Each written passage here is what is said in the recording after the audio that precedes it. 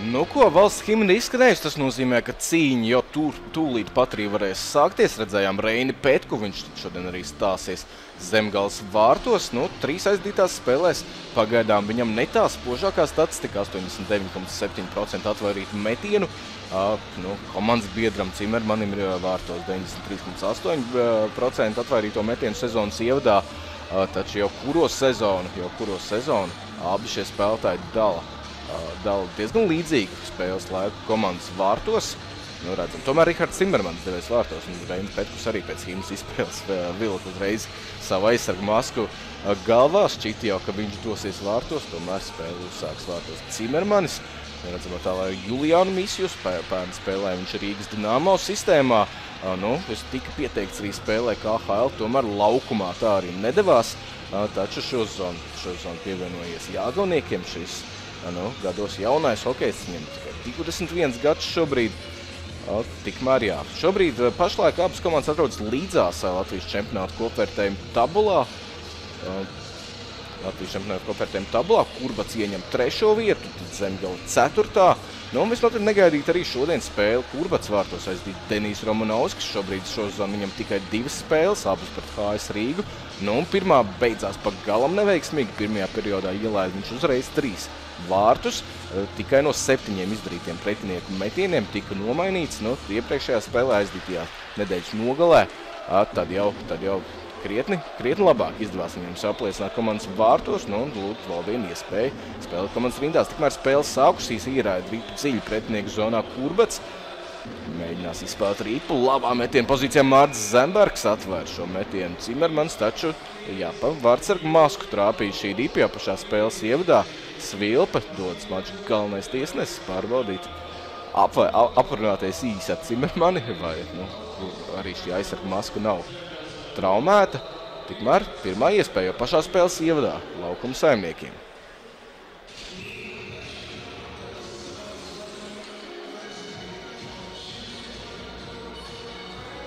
Iemetienā Jānis Sprukts, viņš joprojām pirmajā virknējumā ar Mārtiņu Cipulu, Deividu Sarkani, nu jau būtībā visu sezonu šādi izskatās, šādi izskatās kurbada vadošā maiņa, šoreiz gan neizdodas. Spruktam uzvarēt iemetienā, izcīna ripu Jālgaunieki, taču neko tālāk par pretinieku zilo līniju pagaidām netiek. Un šobrīd jau pēc ripas steidz Edmunds Augstkalns, kā minēja, pievienojās viņam pirms iepriekšās spēles. Viņš kurbada rindām. Tobrīd, kad nu, komandas, komandas vadībā jau bija skaidrs, ka Krišjāns Reidliks dosies prom, sezonas ievadā Augstkalns spēlēja Mogau sastāvā, aizdīja vairākas spēles pērn Francijas hokeja līgā. Šobrīd Jāgaunieki jau nomaina sastāvu, nedaudz pietur ripu savā aizsardzības zonā aizsargi. Nu, centīsies ievadīt uzbrukumu. Centīsies ievadīt uzbrukumu. Laukums saimnieki joprojām meklē pirmo piespēli. 73. numurs Aleksejs Popovs. Grudmanis stāv piespēles priekš. Nesasniedz līdz galam adresātu. Tur jau uzreiz pretspēlētājs bija klāt. Un vēlreiz ripa Jelgaunieku aizsardzības zonā. Un šoreiz jau slīd ripa pāri visam laukumam, līdz ar ko atskan svilpa, atgriezīsies spēle. Vēlreiz Jālgaunieku aizsardzības zonā, lūk arī attēlā Hādijs parādnieks. Nu jau vairāks, nu jau ilgstoši hokeja klubu kurbats spēlētājs, taču, nu, līdzīgi kā, teiksim, uzbrukumā Dāvis Straupe, nu, salīdzoši mazu spēles laiku izpelnās uh, komandas sastāvā un nebelt viņam šī tikai pirmā spēle šajā sezonā.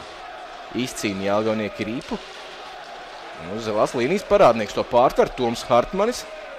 Apslido vārds no aizvārds, atspēlē aizsargam, nu taču tālāk saspēle neizdodas, atstāja ripu uzbrukumu zonu.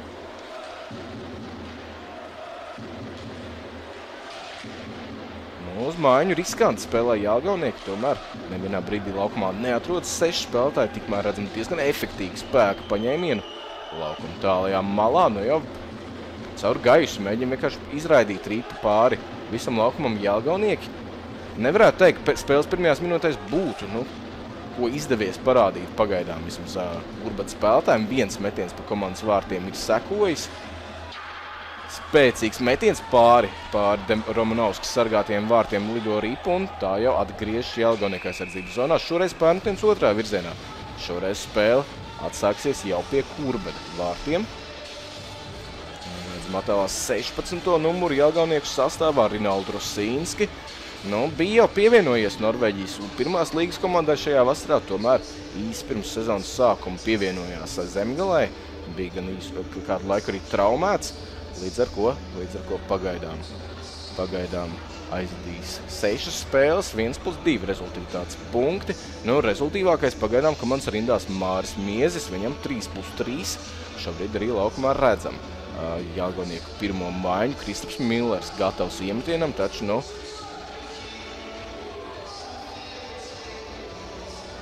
2 minūtes 13 sekundes aizdītas šajā spēlē.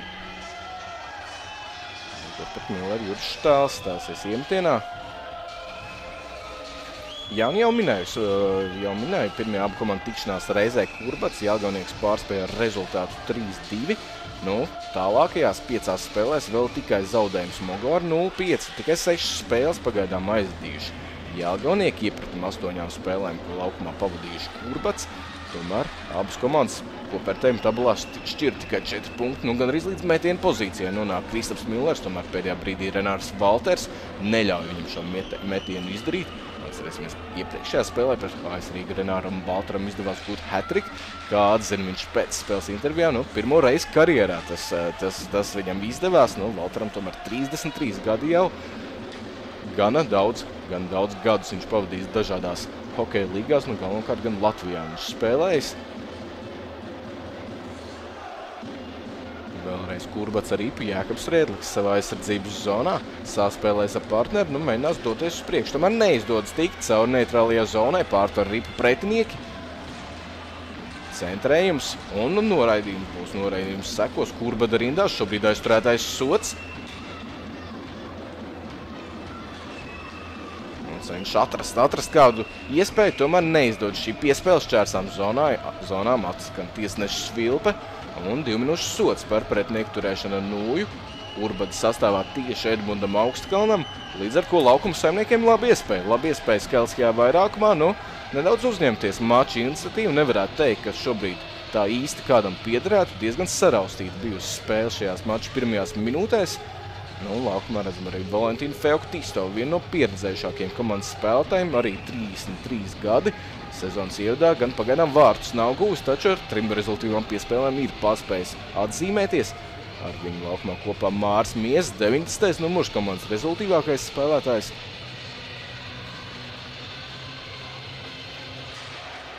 Nu, neizdodas. Neizdodas Jālgavniekiem uzvarēt iemetienā. Kurbats mēģina raidīt rīpu grāpmalu ārpus zonas. Pagaidām tas neizdodas. Jānis Straupa cīņā par īpu pietuvējās lauku apmals, taču tur uzreiz četri pretspēlētāji, kas gan nevar, nevar kurbas spēlētājs apturēt, rīpas līd pāri visam laukumam. Un vēlreiz no savas aizsardzības zonas, no savas aizvārds jāuzsāk uzbrukums Jālgoniekiem. Atstāja arī partneriem tur kāds no Jālgaunieku uzbrucējiem atspēl uz zilo līniju. Nu, gan arī kuļūdās uz savas zilās līnijas Jālgaunieki. Metiens, spēcīgs metiens no zilās līnijas, atlats ripā izturētais sots un vēl viens noraidījums. Vēl viens noraidījums būs Kurbatas sastāvā. Lielais skaitliskais vairākums. Minūte un 25 sekundes tagad būs Jālgauniekiem.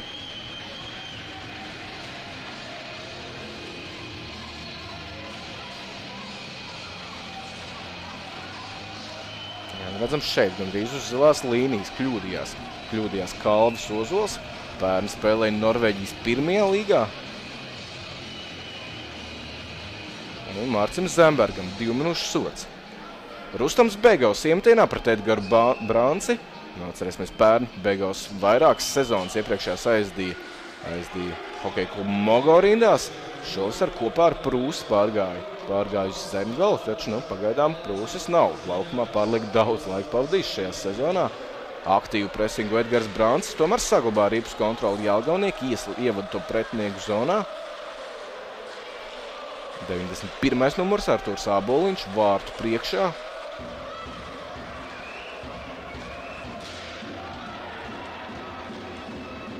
Nu, Lūsnūji, Lūsnūji Jālgaunieka aizsargam pazaudēja viņa rīpus kontrolu brīdi. Vēlreiz no savas aizsardzības zonas jāturpina izspēle. Nu, ļoti gausi šobrīd izspēlē lielo skailisko vairākumu. Laukums saimnieku Rustams Begaus piespēlē rīpu uz priekšu. Vēl 37 sekundes lielajā skaitliskajā vairākumā laukuma saimniekiem. Atspēl uz zilo līniju. Kristaps Jākapsons piespēl uz leju. Jākapsona metiens, nu pagalam neprecīzs metiens Kristapa Jākapsona izpildījumā. Turpina saspēlēties Jelgaunieki. Aiz vārtiem no arvien mazāk laika paliek. Jau vairākām minūte lielajā skaitliskajā vairākumā spēlē Jelgaunieki. Pagaidām tā īsti neko komandai nav izdevies parādīt. Neviens moments nav sekojis, vienīgi Jākapsona metiens, nu, kurš tikko redzējām, bija pat tiešām pagalam neprecīzs. Lēnas saspēles, nu un Metiens, labs metiens, atvēr to Denijs Romanovskis, tikmēr atgriež šajā laukumā Edmunds Augskalns. Lielo skailisko vairākumu nav izdevies izmantot Jālgauniekiem. Šobrīd mazākā pusminūte vēl palikusi, ko spēlēt vairākumā.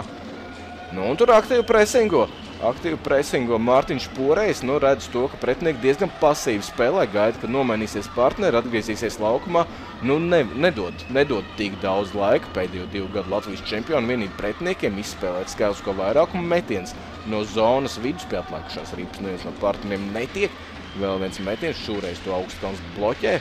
Nu, un tikmēr laukumā atgriežas arī Mārcis Zembergs. Tā arī nav izdevies izmantot lielo skaitlisko vairākumu pašā mača ievadā. Nu, šeit nogāž jau svilps robežas. Uh, Hom, Artūra Homjakau Jūris štāls, taču, taču spēle apturēta. Un šeit vispirms porei neliels spēku paņēmiens, saņem viņš arī atbildi no Homjakos, tur aiz Denija Romanovska, kā aizsarga pakūpa. Šoreiz vēlreiz vēl viens iemetiens Jālgaunieku aizsardzības zonā un redzam Valērijas Kuļibāba. Jālgaunieku galvenais treneris dod arī norādījums, protams, savai komandai. Nu, galu galā pašā spēles ievadā tik labi izdevību spēlēt lielajā skēliskajā vairākumā, taču Nu, šķiet, neviens precīzs metiens par Deniju Romanovsku sargātiem vārtiem tā arī nesakoja. Vismaz pusotrā minūtē, ko spēlēja 5 par 3. Jau nu noteikti ne. Šobrīd Kurbets pēc ilgāka laika dodas uz priekšu. Renāra Valtera metiens atvēr to Rihards Cimermanis. Laurim Nācamam neizdodas noturēt. Neizdodas noturēt ripu zonā un nu jau pretuzbrukumā dodas Jāgaunieki. Tur gan, tur gan viens viens Vladislavs Adeļsons uzreiz pret vairākiem pretspēlētiem un notur ripu zonā Kristofs Millers. Laiks metienam tomēr atstāja. Atstāja ripu laukumu, paspēja, paspēja Kurbada aizsargs bloķēt šo metienu. Redzam atkārtojumā šeit. Edgars Homjakovs kļūdās, neizdodas viņam sekmīgi izraidīt ripu ārpus aizsardzības zonas, pārtār to Kristofs Millers un Renāra Valter Nūja. Renāra Valter Nūja patraucēja Kristapam Milleram izdarīt precīzu metienu Romanovskas sargātajiem vārtiem. Jā, nu Jālgauniekiem šī jau piektā mājas spēle, tikai divreiz viņi spēlējuši viesos šajā sezonā. Iepriekšējā spēlē ar 3 pret 0 izdevās viņiem pārspēt Liepainiekus. Tikmēr Jānis Sprukts raidīja pārpus savas aizsardzības zonas, un jau uzbrukums malē Cipuls ar sarkanu bija gatavs saspēlēties, tomēr aizsardzībā acīgi Atsīgi darbojas Jālgaunieki, neļauj šai piespēlē saņemt adresātus. Sarkans izcīnto un nu jau tā pie Mārtiņa Cipuļa vārdu priekšā sprukta Cipuls. Atspēlē aizsargam. Augstkalnu uzmetiens, nu tur lēkāja ripu vārtu virzienā. Nācās iesaistīties cīņā arī Rihardam Cimermanim. Un šobrīd aktīvi turpina Kurbata pirmā maiņa spēlēt spēcīgs Rēdlika metiens atvērto vēlreiz Cimermans. Un šobrīd visbeidzot dabū ripu ārpus savas aizsardzības zonas Jālgaunieki.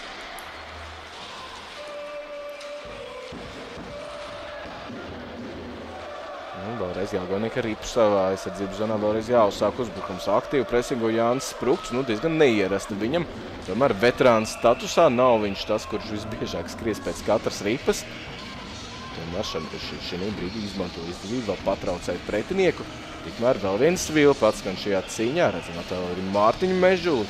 Vēl viena hokeja klubas zemgala aizsargiem. 26 gadi. 26 gadi Mežulim. Ir iemetiens laukuma neitrālajā zonā. Jāņa Straups virknējums, kurbats sastāvā tomēr ripu izcīna.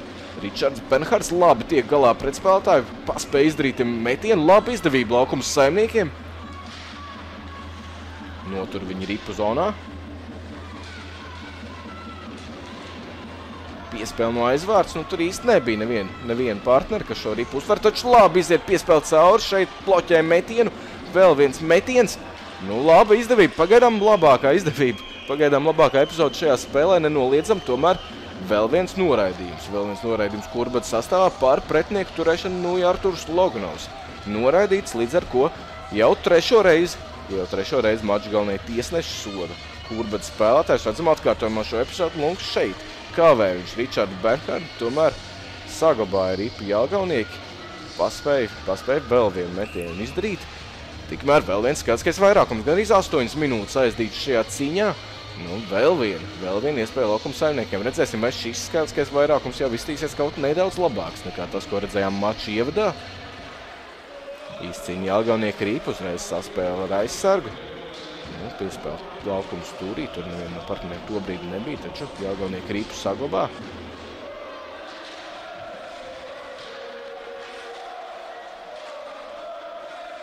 Saspēlts ar aizsargiem. Begaus.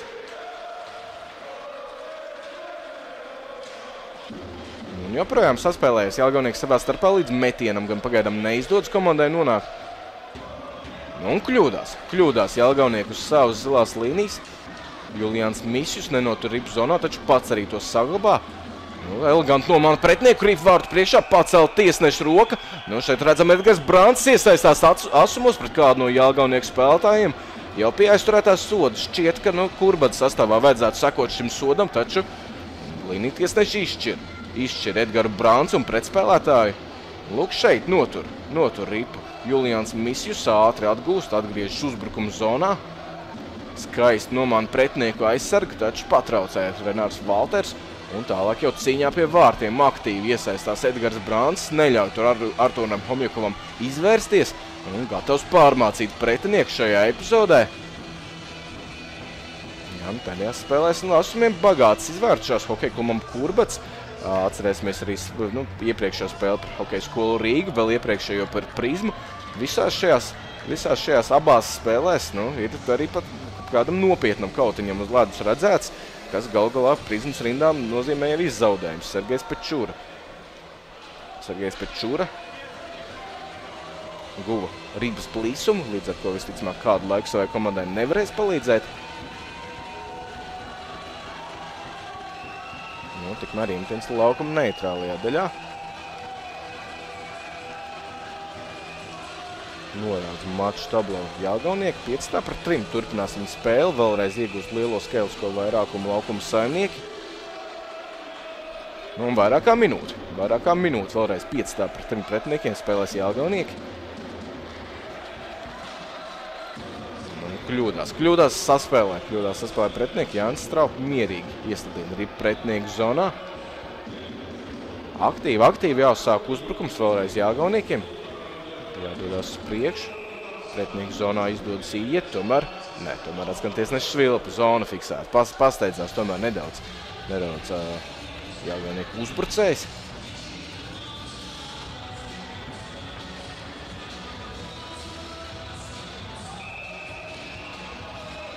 Labs komandas gatavs iemetienam. 19 sekundes lielajā skatiskajā vairākumā aizdīts Feoktistovs pret Cipulu iemetienā.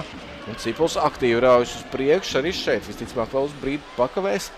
Pakavēs pretiniekus uzsākot uzbrukumu. Skaidrs, ka spēlējot trietā pret pieciem nevar viņš tik cieši pret pretspēlētāju spēlēt skāskajā mazākumā pretinieku zonā, taču Jālgauniekiem nesekmīgi. Nesekmīgi sokas ar ieiešanu pretinieku zonā. Vēlreiz tas neizdodas. Nu, trīs partneri gaida uz zilās līnijas, piespēle grapmalu, otrā laukuma pusē. Nu, knapi paspēja Aleksejs Popovs noslēgt zonu. Un šoreiz kļūda. Ļoti ātri piespēle, ļoti ātri tā tiek pārtverta. Nu, to arī par tehnisko brāķi varētu šajā gadījumā dēvēt vēlreiz. Vēl viens mēģinājums Rustam Begavu izpildījumā. Saspēle bez adresāta, pats, pats nonāk līdz rīpai. Pagaidām ne tas, ne tas labākais hokejs, hokejs Jālgaunieku izpildījumā. Tikmēr pēdējās sekundes lielā skaits, ka vairākumā nu izdodas atklāt maču rezultātu. Līdz ar lielā skaitliskā vairākumu noslēgumu panāk. Panāk 1-0 laukuma saimnieku labā Vladislavs Adiļsons, iegūst viņš ripu vārtu priekšā un raida to pārdeniem Romanovskim. Skatāmies atkārtojumā šo epizodu Aleksejs Popovs. Pēdējā brīdī nomāna pretinieku, izdara piespēli un ātri saspēle vārtu priekšā.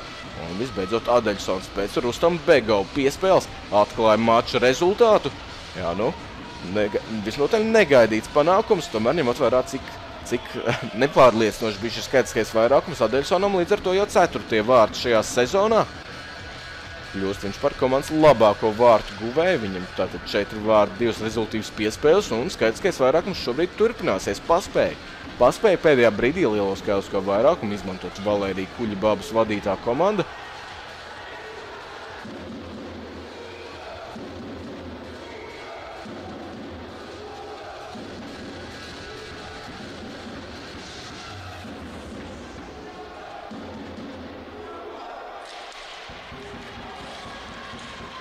Izcīna kurbats ripu.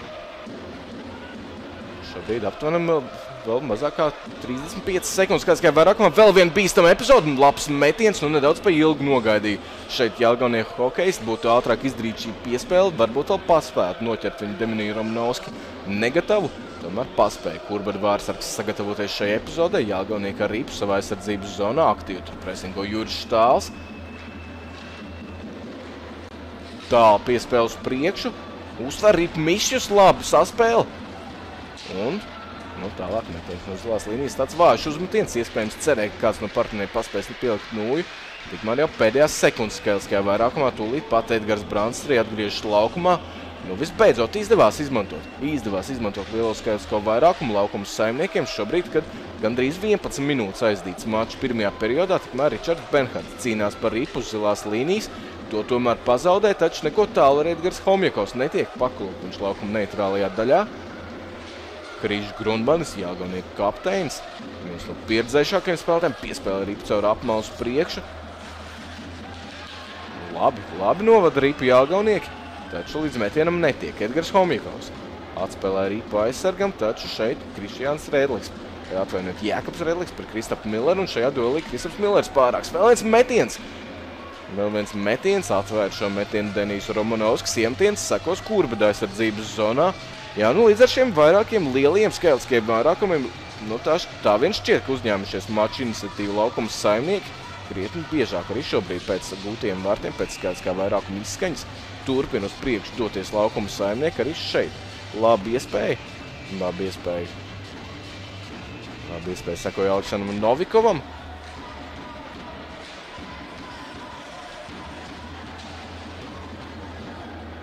Cīņa pie tuvās laukuma apmals, tur uzreiz vairāk spēlētāji iesaistīt ciņā, izcīna ripu sprukts.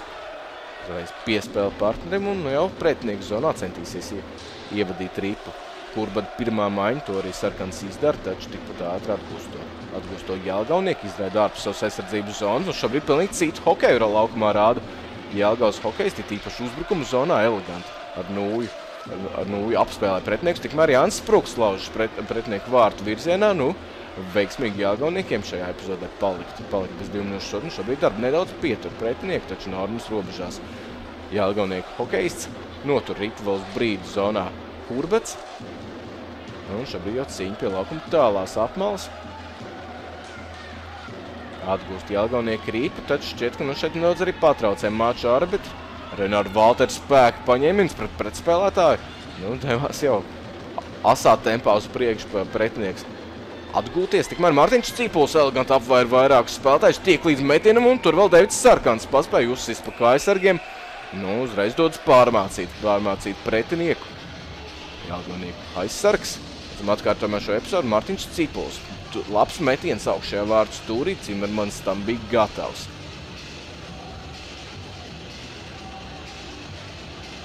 Redzam attēlā Laura Rancevu.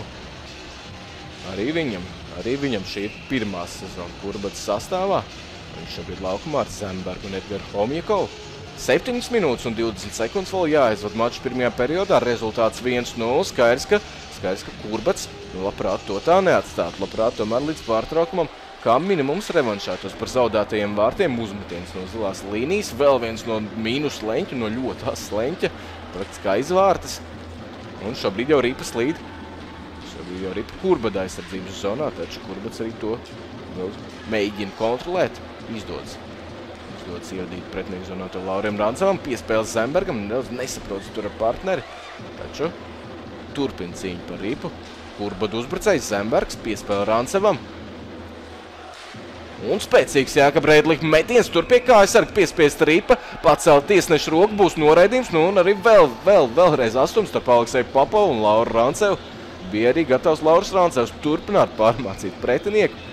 Tomēr ripa, no acīm redzam, nebija līdz galam. Tomēr piespiest atradās tā zem kājas Atkārtojumā Jēkab Redlika metiens. Un lūk šeit zem kājas ripa.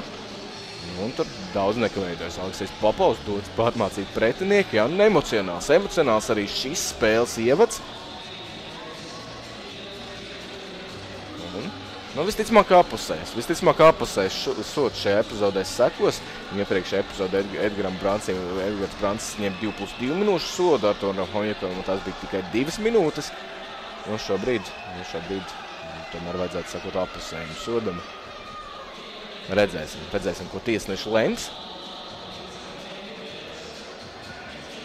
Nu, laukumā šobrīd 5 jāgās hokeisti uz, nore, uz, uz tablo norēdījums tikai Laurim Rancevam. Neapmierināts Toms Bluks, kur bada kapteinis aizdīties. Nu, šī jau sastā sezona, kurā kur, uh, komandas kapteinis statusā, kur bada kur bad vienību vada Tomas Bluks, un šī komandai galu galā tikai sestā sezona. Latvijas čempionātā trīs sudrabi, un tad visbeidzot izdevās. Izdevās arī izcīnīt Latvijas čempionas titulu, kurbadam vēl pēc tam divreiz pēc kārtas, Nu, pērni kā Latvijas čempioni gan cienīgi. Kurbats aizstāvēja Latvijas čempionāta krāsas kontinentālā kausa izcīņā. Šogad kontinentālā kausa izcīņa jau pavisam drīz mums priekšā, jau 19. oktobrī sāksies otrās kārtas cīņas. Kurbats Ledus Hallē šogad pretī San Sebastianas komandu no Spānijas, Ukraiņu Donbas un arī islandieši. Nu, ja, ja tā pavērtējam grupas, tad pagājuši gadu cīņu pretinieki Šajā otrajā kārtā bija nopietnāk, līdz ar ko varam cerēt, ka arī šogad izdosies sevi apliecināt Kurbadam, sasniegt jau nākamo kārtu, tikmēr Jāganieku metienu. Pēc Jāganieku metiena atstāja arī plaukumu, vēl viens iemetiens sekos. Kurbada aizsardzības zonā redzam atam Ārtūru Āboliņu. Nu, daudz sezonas, daudz sezonas Ārtūrs Āboliņš aizdīs komandas sastāvā. Nenoliedzām piedar pie komandas kodola. Taču iemetienā Rustams Begals pret Edgaru Branci. izdodas Jelgavai izcīnīt rīpu un izdodas to arī saglabāt. Tur abi uzbrucēji jau devās uz priekšu. Bija gatavi raidīt rīpu ārpus pretinieku aizsardz... ārpus savas aizsardzības zonas. Un šobrīd, šķiet, kādu griestu konstrukciju atstās rīpa, vēl viens svilpe. Līdz ar to vēl viens iemetiens sakos Kurbada aizsardzības zonā. Jā, un daudz laika, daudz darba komandai skaitliskajā mazākumā.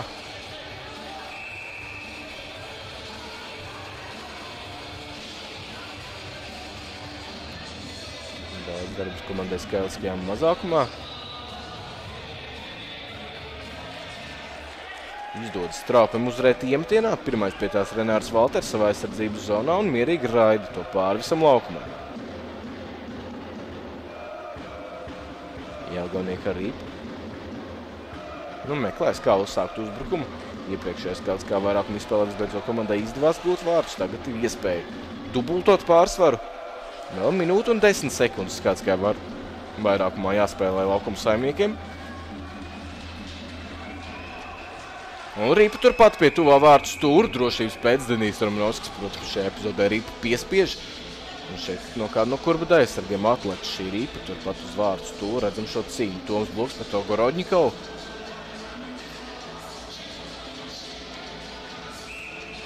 Un jā, tur Jānis Straupa, Toms Bluks duetā nogalināja Ripu līdz savas komandas vārtiem, līdz Denijam Romanovskim, tikmēr laukumā Gorodņikos pret Edgaru Homjakovu. Precīzi minūtes vēl jāspēlē skaitliskajā vairākumā.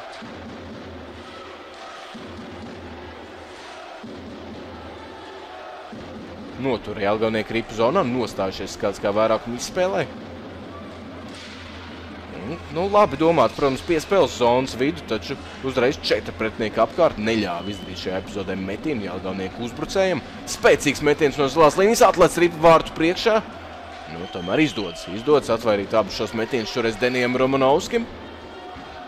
Nu, atcerēsimies vēl, vēl pērnajā sezonā Denijs Romanovskis spēlēja, spēlēja uh, HS Rīgas sastāvā, tur dalīja laiku komandas vārtos ar šobrīd komandas pamatvārds ar Rihardu Norvaišu. Nu, pēc būtības arī pērnu Rihards Norvaišs jau bija izcīnījis pamatvārdsarga statusu savā komandā, lai arī Denis Romanovskis nedaudz gados vecāks. Tikmēr atstāja ripu laukumu pēdējās sekundes šobrīd jau ir skailiskajā vairākumā. Nu šķiet, ka nebūs izdevies izmantot šo skailisko vairākumu laukumu saimniekiem.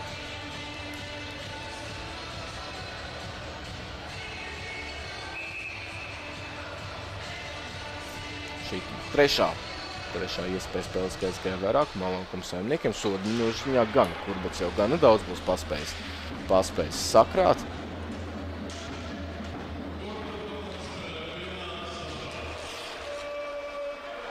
Nu, šobrīd jau pilnos sastāvos aizrit spēli, kur, bet arī savā aizsardzības zonā var pēc ilgāka laika atkal mēģināt doties uz priekšu. Gal galā uzbrukuma zonā tika nopelnīts šis noraidījums ar sitienu ar nūju pretinieku vārdsargam. Nu, šādi to traktēja maču galvenie arbitri. Grundmans notur ripu urbada aizsardzības zonā. Laba saspēle. Un taču nu jau ripu laukuma stūrī. Tur Julians Misjus pret Mārtiņu Porēju cīnās.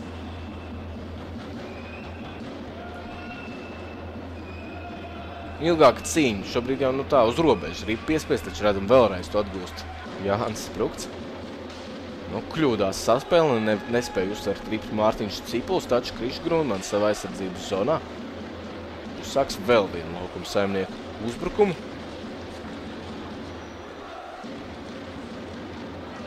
Spēles vārtu priekšu un piespiež ripu. Piespiež ripu Denis Romanovskis. 3 minūtes 52 sekundes jāizvado pirmajā periodā. Pirmajā periodā nu, Denis Romanovskis pagaidām reiz jau kapitulēs. Tomēr vairākās, vairākās epizodēs diezgan bīstams metiens pretinieku izpildījumā atsvairī. 20, 21 gads šim vārdsargam. Un kā reiz Jālgavā dzims. Jālgavā dzims Denis Romanovskis, tikmēr vēl viens iemetiens. Kurba aizsardzības zonā.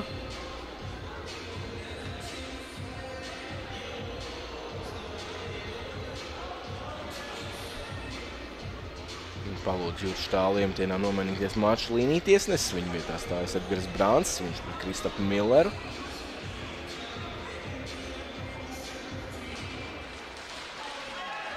Sadursme.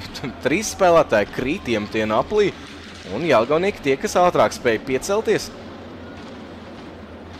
Diezgan agresīvi spēlē Edgars Brāns. Acīm redzot, nu, pietiekami neapmierināts bija par šo epizodu. Ripa aiz Jālgaunieku vārtiem notur Brāns to zonā atspēle.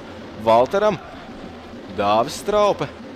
Dāvis Straupe pietur Ripa laukumu stūrī. Nu, diezgan veikls, protams, šis, šis uh, kurbadu uzbrucējs. Atcerēsimies vēl 14. gadā. Prismas sastāvā kļuva par Latvijas čempionu. Nu, to, protams, viņam izdevies tagad arī atkārtot kurbetas sastāvā divas reizes, tikmēr vēl viens jālgaunieku uzbrukums aiz vārtiem aptur. Aptur pretinieku Edmunds Augstkalns cīņa par ripu laukumu stūrī. Nu, arvien mazāk, arvien mazāk laika kurbedam, lai vēl pirmajā periodā paspētu atgūt zaudētos vārdus. Dāvis strāva par ripu, taču nav viņam ātrumu saglabā ripu Jālgava. Rustams Begaus cīņā pret Edmundu Augstkalnu. Prasmīgi nospēlē Augstkalns, taču labu spēku paņēma izdara Begaus. Un tur jau vēlreiz Rīpa pietuvā vārdu stabiņu nav piespiest, tomēr atskan tiesneša svilpa. Nebija piespiest šajā Rīpā pārliecinoši Rīpa Denīs Romanovskis. Redzam atkārtojumā šo episodu. Labi, labi cīņa starp Begau un Augstkalnu. Begaus atgūst Rīpu. Šeit centās piespēlēt ripu uz aizvārdu, taču paliek tā pie tuvā vārdu stabiņa, pazaudē to Denis Romanovskis. Un sakos vēl viens iemetiens, kur aizsardzības zonā daudz darba, negaidīja daudz darba komandas vārdos šovakar Denijam Romanovskim. Maču pirmajā periodā vairākus, vairākus noraidījumus nopelnījuši kurbats, kurbats spēlētāji. Divreiz palika lielajā skailiskajā mazākumā trietā pret pieciem pretiniekiem. Nu, tikmēr Edgars Homikovs pret Julianu Misjus iemetienā. Edgars Homikovs ar sešiem vārtiem, astoņiem rezultīvām piespēlēm pašlaik joprojām Latvijas čempionātu vadošais uzbrucējs, rezultīvākais spēlētājs. No viņam komandā sako Toms Bluks, Mārtiņš Stipuls, Plukam 11 rezultīvas piespēles. Tiesa pagaidām, pagaidām bezgūtiem vārtiem spēlēs Toms Bluks. Tikmēr Jālgaunieki vēlreiz steidz uzbrukumā. Mišjus uzmetiens atlats ripu tālu vārtu priekšā. Tomēr nepaspēja izdarīt laukuma saimnieku atkārtotu metienu. Un šeit jau Kurbada. Kurbada mēģinājums uzbrukumā bloķē. Bloķē Edgara Homjukova metienu, kāds no Jālgaunieka aizsargiem. Līdz ar to sekos šobrīd jau Iemetiens Jelgonieka aizsardzības zonā pēc ilgāka laika. Jāiesaistās spēlē arī Rihardam Cimermanim.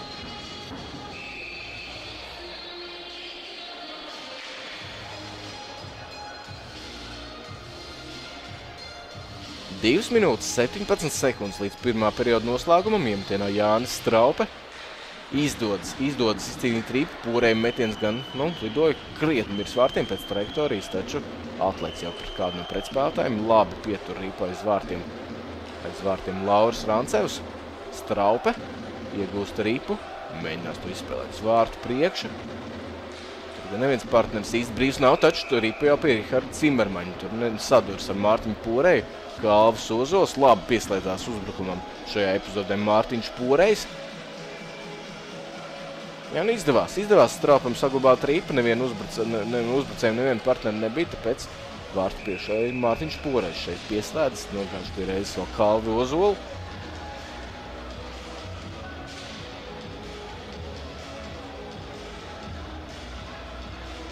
Un vēl viens iemetiens. Vēl viens iemetiens Jālgonieka aizsardzības zonā. Vēlreiz izdodas atgūt rīpu viesiem. Tāls uzmetiens no zilās līnijas un ripa pie Riharda Cimermaņa. Jā, nu atgriezušies laukumā, kur viņu vadošais trīnieks, attiecīgi Mārtiņš Cipuls, Jānis Prukt un Dēvids Sārkani.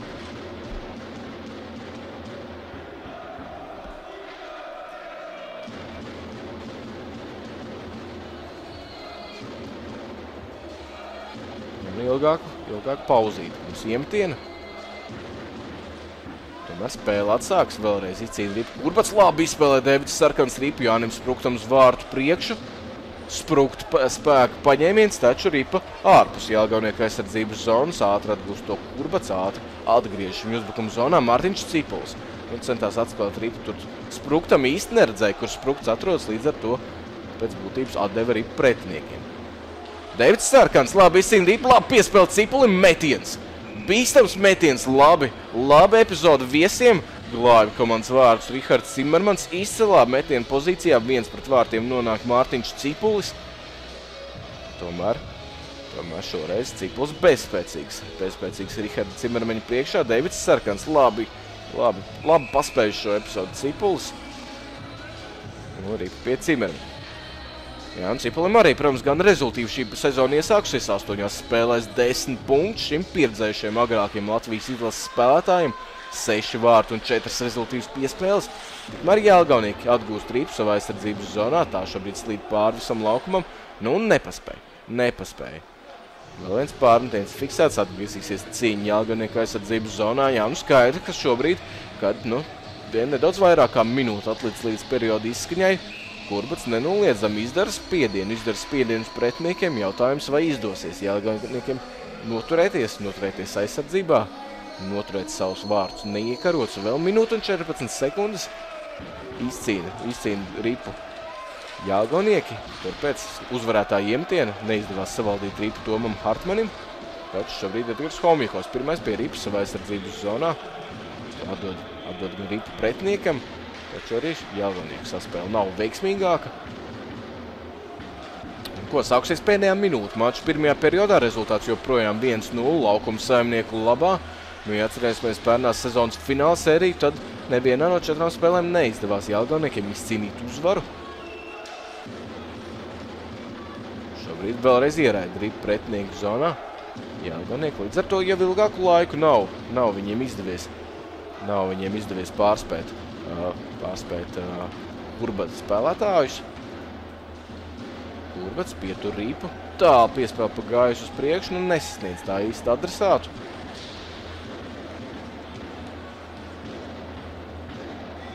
Jā, Galnieks teica pēc rīpas. Nu jau pēdējās sekundes aizdīt maču pirmajā trešdaļā. Nu, līdz ar to Līdz ar to nebūs izdevies, neizdodas Kurbats pirmajā periodā panākt neizšķirt. Pirmais periods noslēdz 1-0 laukuma saimnieku labā. Daudz noraidījumu, diezgan nedisciplinēti nospēlēja Kurbats spēlētāji un līdz ar ko vienu no šīm iespējams skaidriskajā vairākumā Jelgavnieki tomēr izmantoja to brīdi lielajā skaitliskajā vairākumā. Māča rezultātu atklājot Vladislavam Adeļsonam. Taču skaidrs, ka divu periodu mums priekšā, īstā cīņa mums vēl ir priekšā pārtraukumā. Piedāvāja mums iepriekšējo kartu labākos spēļu momentus. Gatavs abas komandas pirmajam iemetienam. Laukumā, protams, nomināli pirmās maiņas, sprukts par spēku pistoli iemetienā. Feoktistovs kopā ar Māru Miesu un Arķumu Ogorotņikovu Semgals pirmajā maiņā.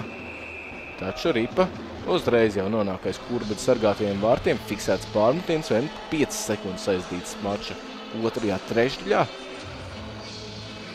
Jā, nu kapteiņa palīgs. Kapteiņa palīgs Valentīns Feoktistovs atgādināsim kapteiņa lomu šajā sezonā Jāgavā Karišam Grundmanim.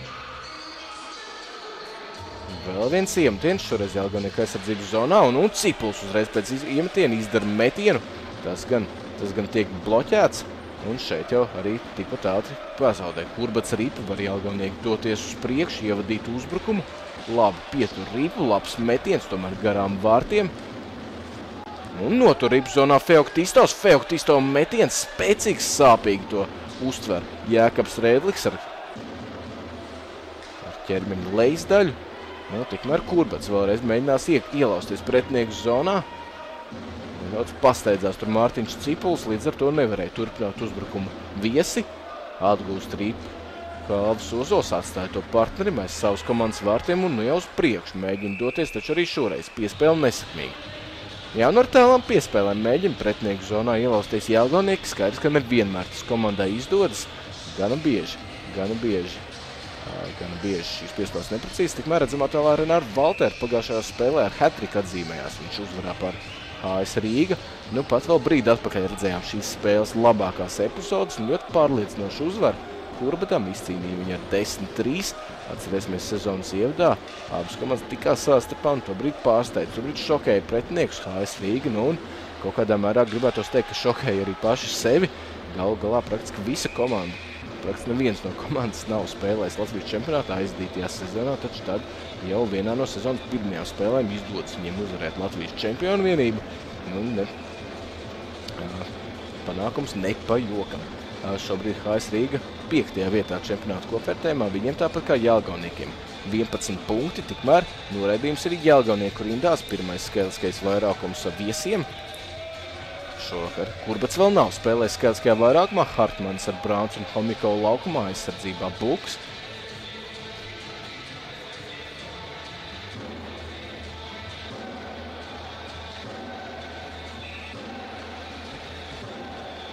Jānomērās metienu iemetienā Artūra Rustamam Begovam. Viņa vietā nāk Āboliņš.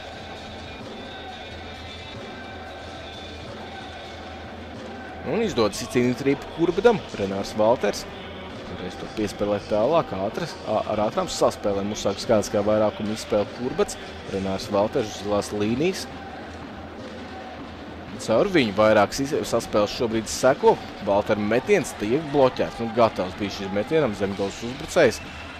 Arī viņš visticamāk bija dzirdējis par to, ka Renāram Valteram uzreiz trīs precīzi raidījumi iepriekšējām spēlē. Visi trīs no zilās līnijas. Toms Buks arī pēc savas komandas vārtiem ievad uzbrukumu kurbats. Edgars Homjukovs ātrā tempā dodas uz priekšu, ieslido pretinieku zonā. Viens pats šobrīd aiz vārtiem pēdējā brīdī izspēl uz vārtu priekšu. Neaizsniedz līdz ripai partneris. Bluks uz zilās līnijas notur ripu zonā. Valters. Un šoreiz Bluka metiens, labs metiens, taču ripa paliek spēlē. Atvēra tiek ar šo metienu galā Rihards Cimermans, vēlreiz ripa pie Bluka. Nu, šoreiz tāds Uzmetiens vārtu virzienā minūtes skaitliskajā vairākumā jau aizdīt, kurbets paspējas jau vairākus metienus izdarīt pa pretinieku sargātajiem vārtiem. Vismaz pagaidām šī maiņa visnotaļ pārliecinoši izstās skaitliskajā vairākumā. Brāncis ar Homikovu ātras īsa saspēle. Brāncis viens vārtu priekšā paspēja piesniegties aizsargs. Nu, nenonāk, nenonāk Valtera piespēle līdz adresātam. Saglabā gan Bluks ripu zonā, Homikovs un pazūd, pazūd. Tur, nu, pazaudēt Edgars Brāns. Vēl joprojām, vēl joprojām kontrolē arī pretinieks zonā. Viens pie vārtiem paliek Edgars Brāns pret vārtsargu un panāk neizšķirtu Edgars Homjakovs. Edgaram Homjakovam septītie vārti šajā sezonā izmanto skaitlisko vairākumu otrās trešdaļas ievadā kurbats. Jā, nu šķiet jau, ka Edgars Brāns, nu, viens palicis pretinieku vārtu priekšā, rip pats pašam diezgan daudz laika izdarīt metienu. Tomēr pēdējā brīdī ieraug viņš labā pozīcijā Edgaru Homjakovu. Un Homikova metiens ir neatvairāms. Netiek ar to galā Rihards Cimermanis. Un līdz ar to Latvijas čempionāta rezultīvākais spēlētājs arī šovakar atzīmējis. Atzīmējis ar vārtu guvumu.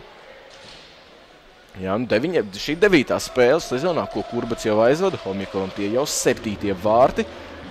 Nu, tikai pa vieniem vārtiem no viņa atspēlēt Mārtiņš Cipuls ar sešiem precīziem raidījumiem. Tikmēr, kas krietni svarīgāk, ir izdevies. Ir izdevies Kurbatam panākt neizšķirt, līdz ar ko pēc būtības spēle sākas no jauna. Tikai, nu, da, tikai mazāk kā trīs minūtes aizdīts maču otrajā trešļā. Nu, un turpina šobrīd of ofensīvs Kurbats. Tur metiens no zilās līnijas lidoja gan diezgan tālu no vārtiem. Un šobrīd jau jā, jā, Jālgavnieki atgūst rīpu. Labi izspēle, labs centrējums Vladislava Adaļsona izpildījumā, taču tur neaizsniedz, neaizsniedz līdz ripai Juliāns Mišs, redzam arī viņa attēlā. Pretuzbrukumā izskrēja, izskrēja zemgals hokeisti. Un šeit Adaļsona, nu tāds kā centrējums, taču neprecīzi, ne, ne, netiek līdz ripai Mišs šajā epizodē. Līdz ar to vēl viens iemetiens šoreiz. Izdodas Kurbam izcīnīt uzvaru iemetienā, piespēles priekšu precīzi Dāvis Straupe. Nu, ar nu, ar to pusi raidīja ripu vārtu virzienā, tā lidot garām vārtiem. Nedaudz aktīvāk otrajā trešdaļā atsākusies spēle. Metiens Riba Denija Romanovska pa sargātajiem vārtiem paspēja to kāds no Jāgaunieku uzbrucējiem izdarīt. Augstkalna piespēles priekšu, neuzcert ripus parūkts, atgūst to laukumu saimnieki. Pietur ripais savus komandas vārtiem Rinalds Rosīnsks un vēlreiz var zemgalu doties uz priekšu. Nu, kļūdās, kļūdās Edmunds Augstkalns un vēl viens metiens no zonas vidus. Turpat vārds priekšā dežūrēja, jo komandas biedrs bija gatavs atliek šajā ripai, taču Romanovskis prasmīgi novirsīja ripu laukumu stūrī. Augstkalns nu, atdod pretiniekam ripu tieši uz nūjas lāpstiņas. Saglabā arī pretinieku zonā laukums saimnieki.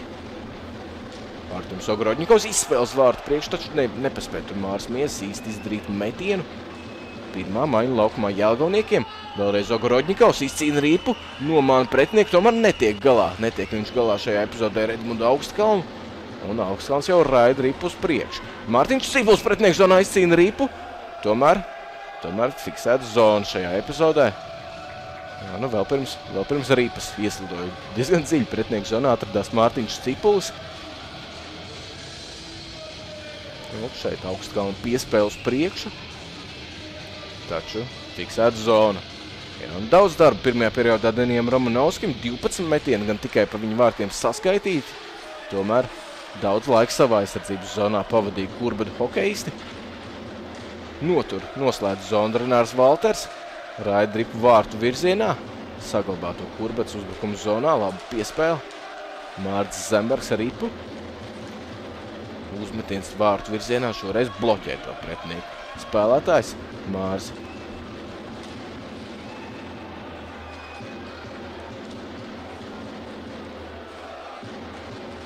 Labi saspēle kurbats starp atlats rīpa, taču nepaspēja. Tur Krišs Grundmans glābi situāciju, bloķē šo atkārtoto metienu.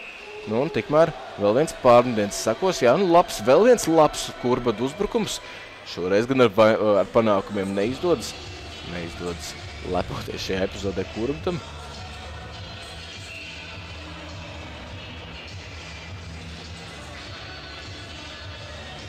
Šobrīd iemtēnā Jānis Straupe. Taču Jāgonieki pārāk. Krišgunumans nenotur rīpu. Iesaistīties cīņā par to arī Artūrs Logunovs.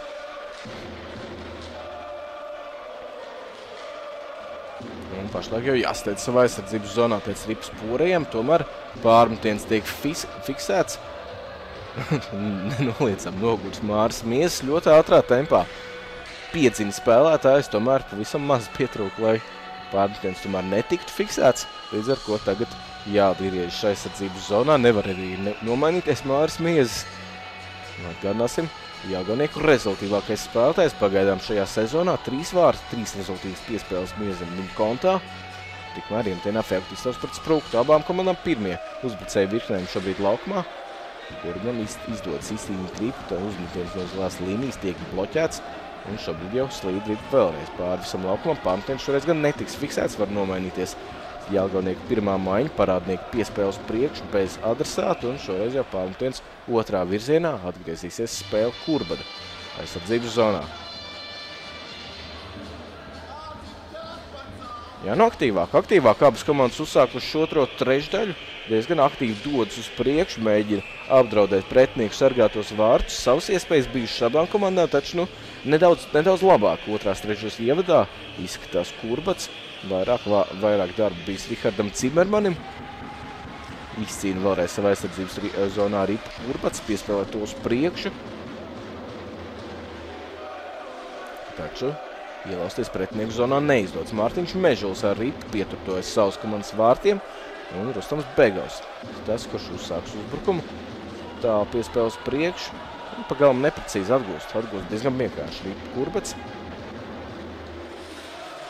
Mārtiņš Cipols, nu redz, ka netiks cauri, piebremzē, atspēlē ripu aizsargam. Nu, šobrīd jau pasteidzas bija atkal cipuls, dziļi ieslidojas pretinieku zonā, dodas pats arī nomainīties. Sprukts šobrīd cīņā par ripu savā aizsardzības zonā. Spēku paņēmiens pret Edmundu Augstkalnu. Labi, ar spēku spēli izceļas Jelgaunieki. Un te, tomēr neizdod šajā epizodē tikt viņam līdz metieniem. Un nu jau pretuzbrukums sarkans ar spruktu. Sprukts uzbrukums smailē, pacēla tiesneša roka. Noraidījums, iespējams soda metienu redzēsim šajā epizodē. Jā, nu viens pret Rihardu Cimermanu palika Jānis Sprukts. Un vēl viena iespēja skaidriskajā vairākumā spēlēt viesiem. Sarkaņi piespēle Spruktam un šeit, šeit arī divu minūšu sots. Soda metiens gan šajā epizodē piešķirts. Tomēr netiek, taču, nu, vēl viena iespēja skaidriskajā vairākumā Kurbadam pirmo iespēju. Pirmo iespēju šajā spēlē Izba, viņi izba, Kurbats izmantoja minūtu un 34 sekundes bija nepieciešams, līdz Edgars Homikovs panāca 1-1. Un šobrīd Homikovs ir atpakaļ laukumā, lai vēlreiz pār, censtos pārspēt pretinieku vārdsargu. Nostājušies pretinieku zonā Kurbats pēc jau izpildītā iemetiena. Ātri saspēle, spēlētājs starpā labi izspēle, tomēr pēdējā piespēle no Homikova. Pagalam neprecīzi, neredzēja precīzi, kur partneris atrodas, līdz ar to vēlreiz no savas zonas jāuzsāk uzbrukums Kurbdam, Homikovs ar ripu. Pats ieslido pretinieku zonā. Un tomēr zona fiksēta šajā epizodē. Atgriezīsies spēle laukuma neitrālajā daļā.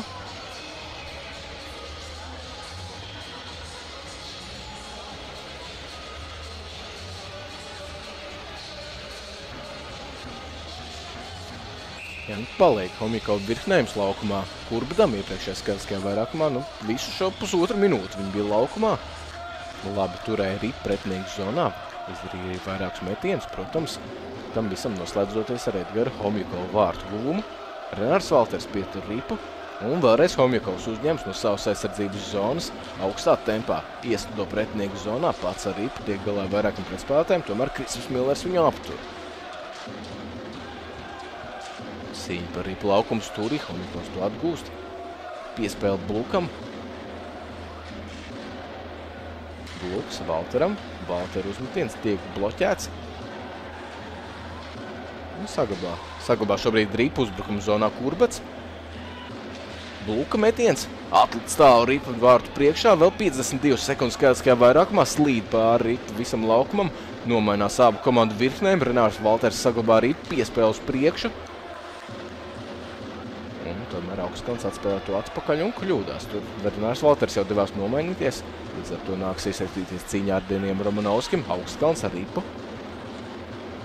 Ieslido pretinieku zonā. Šis kurbida aizsargs. Nu, tur gan neizdodas tālāk partners atrast. Vairs tikai 20 sekundes atletisko spēles skaidriskajā vairākumā, un šobrīd diezgan maz sanācis izspēlēt skaidrisko vairākumu pretinieku zonā kurbdam, taču visbeidzot izdodas viņiem nostāties. Jānis Sprukts uz zilās līnijas. Sarkanis. Spruktam. Un šobrīd diezgan lēni izspēlē šo skaidriskā vairākumu, taču tiek līdz labam momentam Deivids Sarkanis. Ilgu laiku gaidīja Jānis Sprukts šo piespēlu, un tikmēr atgriezies laukumā Mārs Miesas nākas viņam vēl uzgaidīt. Uzgaidīt arī puslās līnijas, lai netiktu fiksēta zona. Tiek Jelgaunieki līdz metienam. Kristaps Jākopsons paklūp savā aizsardzības zonā, taču Mārtiņš Cipuls tik un tā nespēja viņam atņemt ripu. Laukuma neitrālajā daļā Jelgauniekam izdodas ievadīt to pretinieku zonā, izdarīt tālu metienu par Romanovsku vārtiem. Nu, liekas grūtības šoreiz Romanovskam tas nesagātā, tikmēr Jānis Straup jau atgriezies uzbrukuma zonā Kurbadam. Gandrīz jau puse laika saistīts otrajā trešdaļā, ir izdevies kurbam panākt neizšķirtu, taču šobrīd jau jāstās uz priekšu. Abas komandas nenoliedzami vēlas, vēlas atgriezties vai iegūt, iegūt spēles vadību. Nu, jautājums tikai par to, kurai no komandām tas izdosies pirmajai. Notur Jelgavnieki ripu zonā, tomēr tālāk saspēle jau nav sekmīga. Un Jānis Straup apzog pretinieku, viņš ar Rancevu divu tā pret vienu un labi, labi izkupienā spēlē Jelgavnieku aizsargs un neutralizē šo epizodi.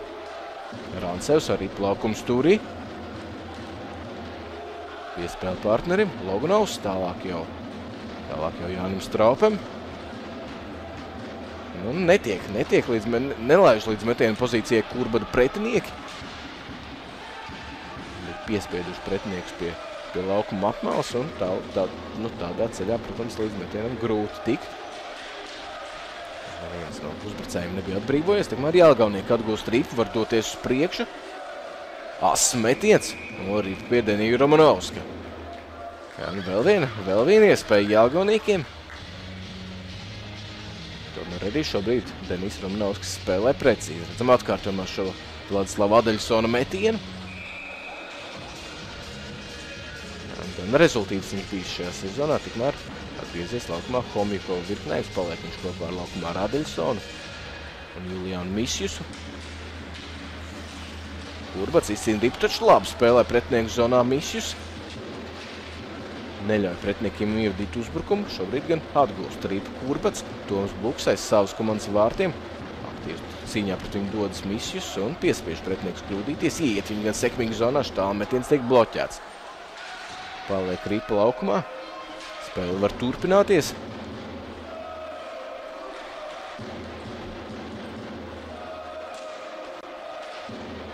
Un jau ieved pretinieku zonā ripa Jelgavnieku. Tomēr fiksēta zona šajā epizodē. Neizdevās tas sekmīgi.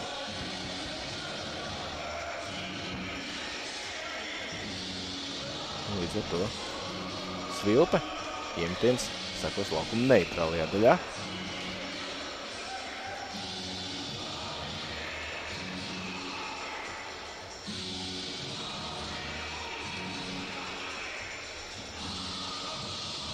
Ja, neliela pauzīte uz ledus.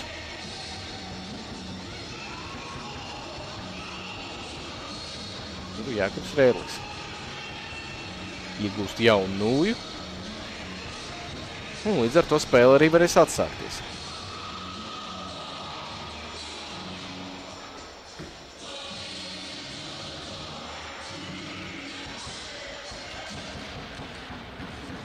Jāgauniekiem izdodas izcīnīt rīpu.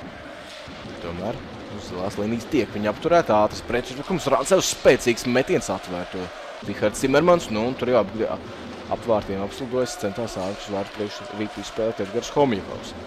Rancevs vēlreiz piespēl Homjakovam aiz vārtiem. Labi izspēle, pieslēdzies uzbrukumam bija aizsargs. Nu, vēlreiz. Kādu asāku vārtu Rancev pārmīja Jāgaunieku aizsargi. Redzam atkārtojumā šo epizodu. Rancevs piespēlē to Homikovam, labi pieslēdzas uzbrukumam aizsargs un atrodas lieliskā metiena pozīcijā Jākaps Vēdliks. Tomēr tiek Rihards Cimermans ar šo metienu galā. Jā, labi iespēja, labi iespēja Kurbadam. Vēl viens iemetiens atgriežies laukumā Kurbadam vadošais uzbrucēju trīnieks sprukts ar Cipulu un Sarkani. Cipuls ar ripu laukums turī izdodas viņam tos saglabāt, atspēlē aizsargam, Valter uzmetiens gaisā. Rīpa līdz vārtiem tā arī nenokļūst. Taču vēlreiz sarkans izcīna Rīpu. Nu gan, Ogorodņikovs piespēlē Feoktistovam. Feoktistovam metiens, Rīpa vārtu priekšā, turpat arī Mārs Mies, taču pēdējā brīdī Mārtiņš pūreiz. Neļauj, neļauj Miesim izdarīt metienu. Ne šoreiz uzmetiens gaisā vārtu virzienā īsti. Nu, ne piespēle, ne metiens neviens ne otrs. Un Kurbats arī atgūst. 8 minūtes vēl jāspēlē māču otrajā trešļā. Tālu piespēle pa gaisu. Arī pretinieku zonā. Tomēr tāp tā. Cimermaņa kā aizsargiem. Līdz ar ko pārmetienu fiksēt nevar šajā epizodē. Krišs Grundmans dodas uz priekšu. Ierēd ripu pretinieku zonā. Pats arī dodas pēc ripas. Viņš ciņā pret Mārtiņu Poreju.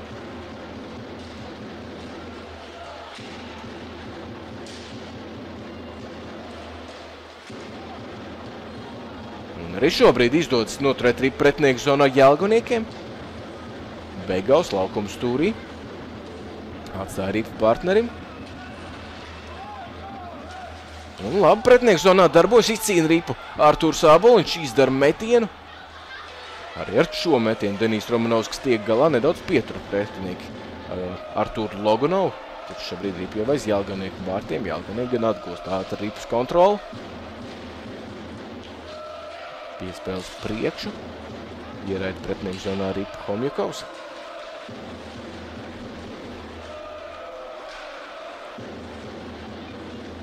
Jālganieki meklē, meklē ceļus līdz metieniem, meklē ceļus uz pretinieku vārtiem. Valters piespēlē ripu uz priekšu, taču šeit ātri jau laukuma neitrālajā daļā sagaida viņu vairāk pretspēlētāji. Atgūst ripu laukuma saimnieki. Ļāvis Straup pakavē uzbrukums, uzbrukumu uzsākšanu. Un arī šeit, ar pirmo, tikai ar otro piegāju ielaušu pretinieku zonā, ielaušu pretinieku zonā Jelgava. Taču metiens tā arī neseko. Neizdevās Arturam Homjakovam savaldīt ripu aiz pretinieku komandas vārtiem. Un šobrīd uz mājiņu noķer pretspēlētājus. Kāds no Jelgoniekiem, tomēr metiens. Metiens pagalam neprecīs. Augstkalns arī laukums stūrī.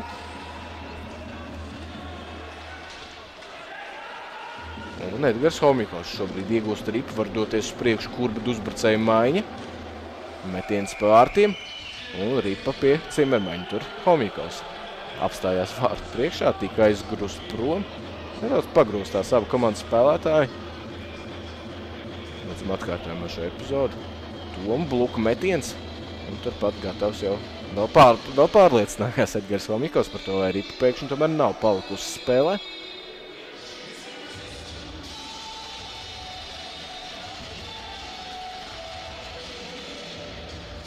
skaidrs, ka likums šajā spēlē gan augsts vēl, vēl aprunājas Edgars Homikovs ar Aleksēju Popovu ar jāgalnieku aizsargu.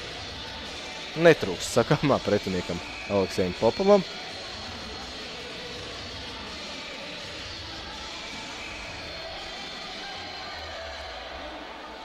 Man tikmēr iemtienā gatavi jau tikties Kristofs Millers un Jānis Sprukts. Jā, no otrajā trešļā pagaidām Kurbats spēlētāji iztikuši bez noraidījumiem pirmajā periodā.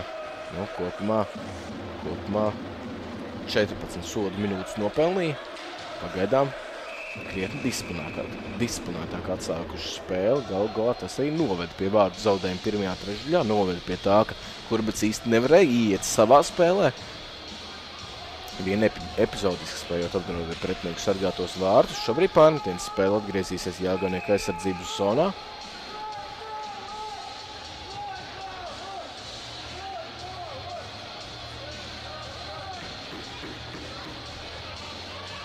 Jā, Jālgonieki nevar vienoties, kurš no viņiem stāsies iemetienā. Šobrīd pusprūkts klās iespējams arī kādu sankciju. Nu, ļoti, ļoti iespējams šādā situācijā nopelnīt ir divu minūšu soļu par spēles laiku vilcināšanu. Šobrīd. Jānis Sprukts, tas, ko jāprunājas maču galveno arbitru. Taču pretinieki beidzot gatavi šim iemetienam. Tajā gan viņi zaudē. Rēdliks Iespēlē arī gar apmalu sarkanim. Sarkans laukums tur izspēles vārtu priekš spruktam. Tomēr divu pretspēlētāju un labā epizode. Laba epizode. Labi piespēles čērsām zonām Mārtiņam Cipulim. Un spēcīgs cipuļu plauksts metiens. Nu, ne bez grūtībām atvērt šo metienu Rihards Cimermanis. Labi iespēja, kur bet pirmajai maiņai. Lūk, šeit cipuls netika līdz metienam, taču brīvi ripu un sarkans to piespēlē šķērsām zonai. Nu, tomēr metiens garām vārtiem šajā epizodē Mārtiņam Cipulim. Atgriež laukumā Homiko. Virknēms 5 minūtes 36 sekundes vēl jāizvada maču otrajā trešdaļā. Vēlreiz Kurbats uzvar iemtienā, metiens vārtu virzienā, šoreiz garām vārtiem. Rāncevs noturību zonā Zembergs. Vēlreiz pie Rāncevam. Un nu jau Zembergs lauž uz vārtu priekšu, saprot, ka tas neizdosies. Un nu jau laukums stūri stūrī spēle. Rancevs. Pūrēja metiens nolūst. Neizdodas metiens kurbada aizsargam. Un pēdējās minūtēs nu, diezgan pārliecinoši iniciatīvu maču pārņēmuši kurbada spēlētāji. Arī šobrīd vairāk spēku paņem uz zilās līnijas. Taču nu, diezgan nedroši ar šo metienu tiek galā Denijs Romanovskis. Vēl viens metiens atlaiks ir ripu rezultāts 2-1. 2-1 atgūst vadību Zemgala Mārs Miezis. Mārs Miezis ir tas, kurš pārspēja Deniju Romanovski. Nu, atlec, atlec ar ripu vārtu priekšā pēc aizsarga metiena. Un Mārs Miezis ir tas, kurš gūst ceturtos vārtus, savus ceturtos vārtus šajā sezonā.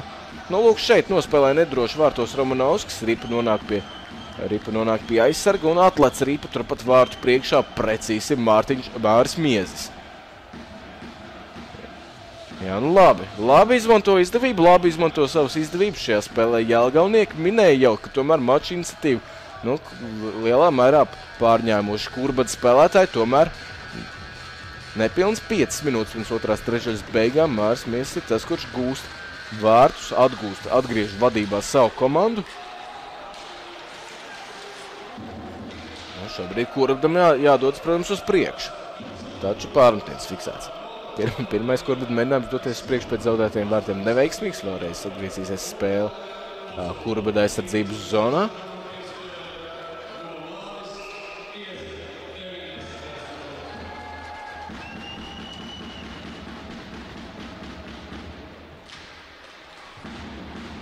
Izdodas izcīnīt kurbadam ripu. Toms Buks atstāja to Renāram Valteram. Piespēles priekšu.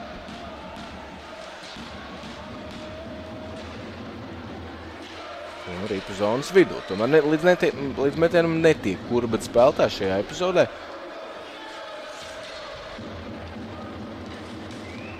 Ārturs Aboliņš tiek apturēts uz zilās līnijas un līdz ar to fiksēts zonu. Tur jau trešais komandas biedrs bija paspējis ieslidot zonā. Atgriezīsies spēle laukuma neitrālajā daļā. Redzam, atkal Rustam Begau asistēja viņš Vladislavam Adiļsonam pirmajā epizodē, pirmajā vārtu klumā. Maču ievadā, nu, tad maču desmitajā minūtē. Tad atklāja, atklāja maču rezultātu Jelgavnieki.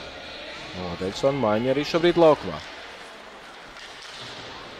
Ieraida Mežuls rīt pretnieku zonā, tur to sagaida pretnieku aizsargs. Un tomēr pārmetiens fiksēts šajā epizodē. Vēlreiz atgriezīsies spēle kurbada aizsardzības zonā. Jā, pirmajā mirklī pēc zaudētajiem vērtiem, protams, mēģināja kurbats doties uz priekšu, taču pagaidām šie mēģinājumi nu, pagalam nesakmīgi. Pagalam nesakmīgi Latvijas čempionu vienībai.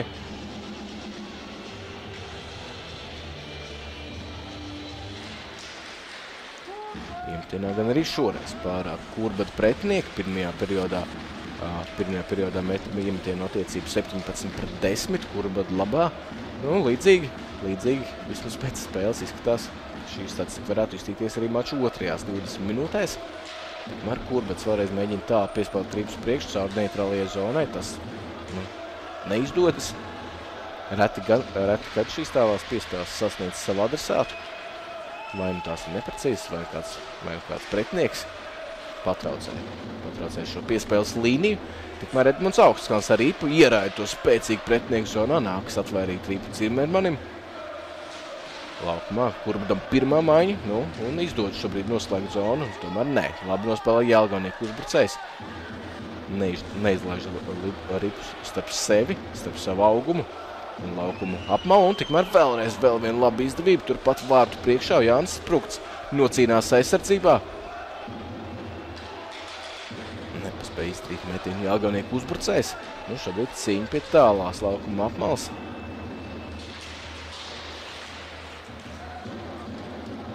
Diezgan neprecīzs saspēles. Kurbat spēlētājs starpā. Otrās trešdaļas noslēgumā. Pēdējās trīs minūtes sākušās šajā periodā. Rustams Begaus ievad ripu pretnieku zonā, pats izdara metienu, atvēr to Cimerman, atvēr, atvēr, atvēr to Romanovskis.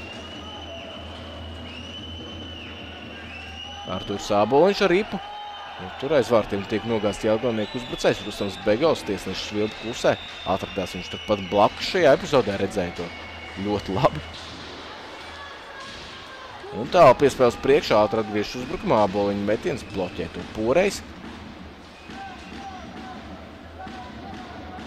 Un neapstājas, neapstājas, protams, Jāgaunieki turpina iesākt to pie rezultātu 2-1 apstāties, apstāties uzbrukumā. Tas, protams, būtu neprāts. Nu, galu galā Jāpietur arī pretinieku zonā. Varbūt tomēr arī kādu noraidījumu pretinieks var nopelnīt šajā periodā, kur bet spēlēs disciplinēt. Un tikmēr Edgars Homjakovs uzbrukums mailē. Labs individuāls reids palika rip turpat vārtu priekšā, taču pirmais Jelgonika aizsargs. Raidīja to prom, turpat arī Zembergs atradās. Atgriež uzbrukuma zonā Rancevs. Pats uz vārtiem dodas. Un piespēlēt savu reiz vārti pašam sev. Izdevās šajā epizodē Rancevam.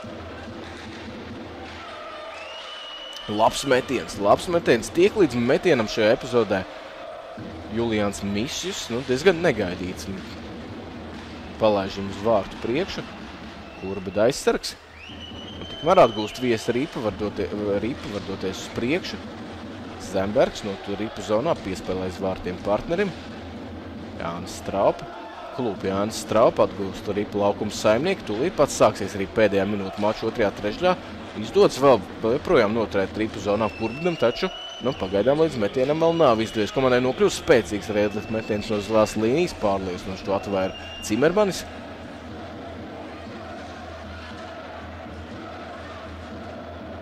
Jā, Ganieki pieturību savā aizsardzības zonā, ļauj nedaudz nomierināties spēles tempam, nomainīties savas komandas uzbrucējiem. Gal galā labs uzbrukums padevās kurbeļu spēlētājiem. Ir tur piespēles zonas vidus, vārtu priekšu. Aizsargs jau bija gatavs pārņemt, pārņemt ripu. Tieši tā arī notika. Šobrīd arī pēc cimermeņu vārtiem. Atgūst Jelgavnieku ripu. Un ieraida to pretnieku zonā. Nākas piespies šajā epizodē arī Deniem Romanovskim. Iemtiens sekos Kurbada aizsardzības zonā 17 sekundes atlicis, ko spēlēt maču otrajā trešdaļā. Rezultāts labvēlīgs laukums saimniekiem 2-1. 2-1 Jelgavnieku labā.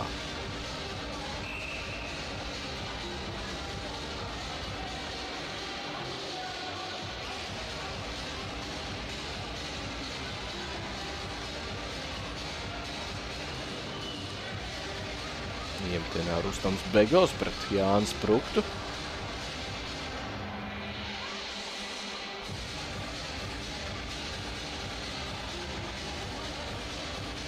Jā, nu šad un tad iemetieni prasa ilgāku laiku. Arī, arī šoreiz prasa ilgāku laiku, pirms tie tiek arī izdarīti, tikmēr parādnieks ar ripu, nu nespēja to, nespēja to novaldīt, atgūst ripu jālgonieki, tomēr arī viņiem mēģinājums iet pretnieku zonā nesekmīgs, un no jau aizturētā zona nesekmīgi zonā iet arī kurbats, un līdz ar to otrā trešdaļa šajā cīņā noslēgusies ar rezultātu 2-1.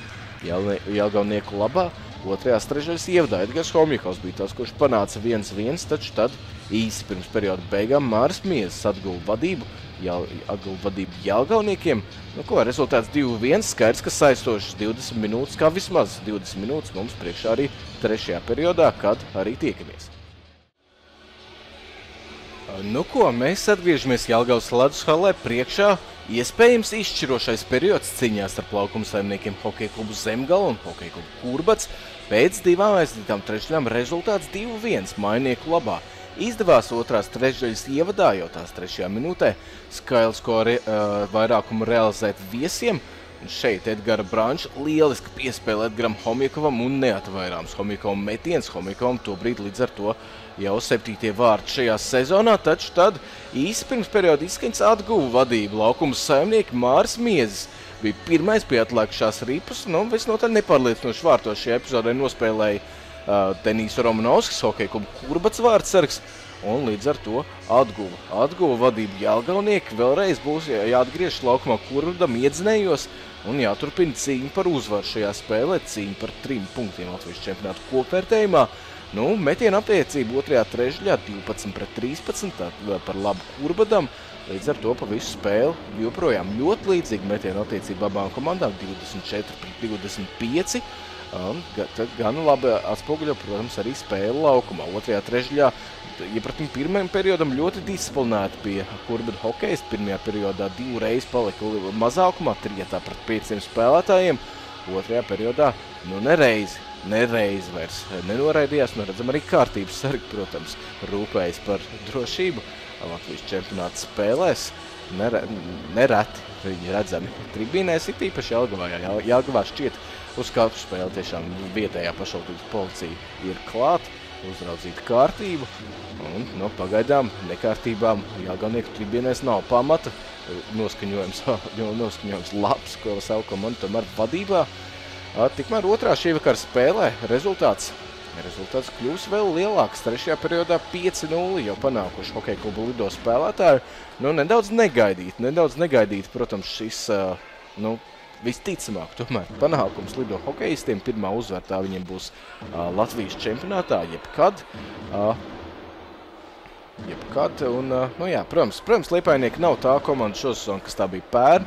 Nu, redzam, attēlā Māra Mieza, arī pēdējo vārtu autora, arī Mārim Miezim iepriekšējās divas sezonas Liepainieku sastāvā aizdīts. Iepriekš gan arī vairākas sezonas zemgalē jau aizdījis, līdz ar ko, līdz ar ko šī nebūtu, viņam nav pirmā sezona hokeja klubas zemgales sastāvā. Nu, un šobrīd komandas vadošais uzbrucējs septiņi punkti. Septiņi punkti, viņam šobrīd septītā spēle, kas tiek aizdīta. Skatīsimies, iespējams, vēl jau, vēl jau laiks ir, vēl jau ir iespēja vēl, vēl kādreiz pā, pacīnīties pretnieku vārtu priekšā, nenoliedzami. Neatteiksies Māris Mies no šādas iespējas, nu, kopā vienā maņā viņš ar attālā redzamo Valentīnu Feoktistovu un Artemi Okoroķnikovu. Visi šie trīs spēlētāji, nu, jau ilgāku laiku, jau ilgāku laiku hokeja klubā klubā Zemgala spēlējuši. Un tūlīt pat būs arī gatavi atsākt spēli redzam laukumā arī Kurbdam, viņa pirmais uzbrucēja virknējums.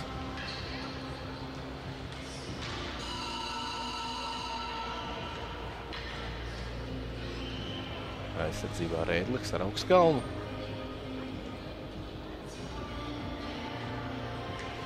Nu ko, spēle atsākusies, izdodas arī šobrīd iemetienā uzvarēt Kurbedam. Augstkalns atstāja arī par Rēdlikam, Rēdliks vietu ripu. Nu, nav īsti kam piespēlēt šajā epizodē. Augstkalns piespēles priekš sarkaniem, taču nenotur, nesavalda ripu sarkanis. Neizdodas Mārim Miezmi iet pretnieku zonā. Atgūst viņa Algonieka ātra ripu, taču arī šoreiz piespēle neprecīzi. Laukuma centrā aptur Valentīns Feoktistovs, Edmunda Augstkalnu un metiens. Metiens pa vārtiem, lido garām tiem. Sprukts, piespēle, atspēlē ripu vārdsargam. Visticamāk tāds nebija domāts, taču beigās gan droši tomēr nospēlēs šo epizodu. Kur bet spēlētāji nāk jau laukumā Zembergs ar partneriem, Sprukts vēl palicis. Viņam attiecīgi vēl jānomainās, nomainās arī Jālganieku sastāvs un Jālganieki ielauž pretinieku zonā, taču fiksētu zonu nepaspēja. Nepaspēja tur. Uh, 15. numurs, uh, 15. numurs Jālganieku sastāvā, Ričards Berhards izslidot ārpus zonas, un līdz ar to iemetins laukuma neitrālajā daļā.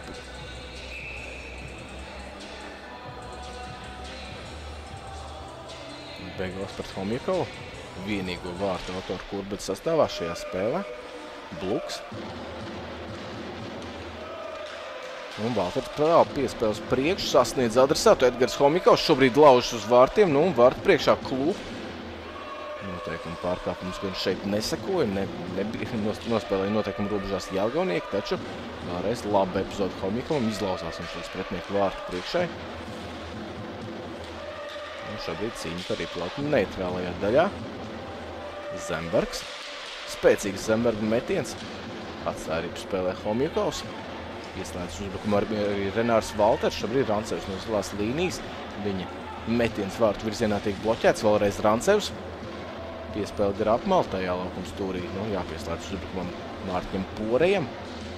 Nevienu no uzbrucējiem tur nebija. Un šobrīd jau Krišs Grundmans cīņā pret Lauru Rancevu. Sevis atspēlē Ripu Homjakovam. Homjakovs saglabā to laukumu stūri. Meklē partners.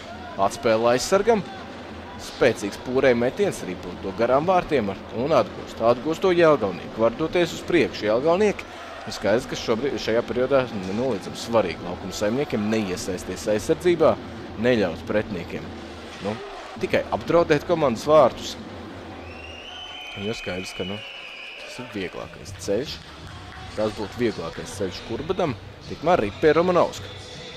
Rīt piespiest atsāksies spēle Kurbada aizsardzības zonā. Pēdējo epizodu Adeļsons spēlē rīt uz vārtu priekšu. Tālāk jau no aizvārds centās Romanovski pārsteigt. Pārsteigt Artūrs Homīvs. Šoreiz neizdevās. Jēkabs Trēdliks arī atstāja to aiz otram aizsargam. Augstkalns. Piespēlē ripu uz priekšu. Un neizdodas. Jā, ne, paliek šī piespēle bez adresāta. Līdz ar to iemetiens laukuma neitrālajā daļā. Divi ar pus minūtes jau aizdīts maču pēdējā periodā. Skaidrs, ka, skaidrs, ka daudz izšķirsies, daudz izšķirsies at, atlikušajās 17 minūtēs. Iespējams, redzēsim arī papildu laiku, arī tāda iespēja, protams, pastāv. Taču nenoliedzam, abas komandas darīs visu iespējamo, lai uzvaru nokārtot jau maču pamatlaikā. Vēl viens iemetiens laukuma neitrālajā daļā šobrīd sakos. Jānis Straupa iemetienā. Atgriezusies laukumā Jālgoniekiem pirmām uzbrucēju maiņu, tomēr iemetienā uz, uzvarēt neizdots, joprojām ievērojams pārsvars iemetienu uz kurvdams, pa spēli jau 31 par 19. Un Jālgonieki var doties uz priekšu. Felktistovs izdara metienu, taču fiksēts zona arī šajā epizodē. Nedaudz novilcinājās tiesneses Svilp, paspēja vēl Felktistovs izdarīt metienu pa pretinieku vārtiem. Taču vēlreiz atgriezīsies spēle laukuma neitrālajā daļā. Nomainās Jāgaunieks sastāvs. Abām komandām svaigi virknējumi laukumā, Beglaus pret štālu iemetienā, otrā maiņa laukumā līdz ar to Zemgalei.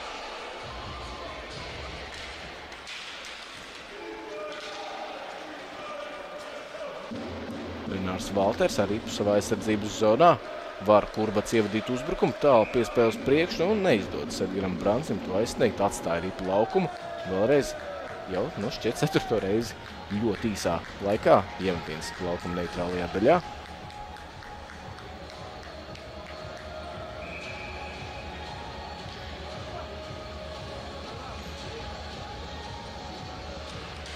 Un šoreiz iemetienā pārāk jāgaunieki. Iegūst arī ripu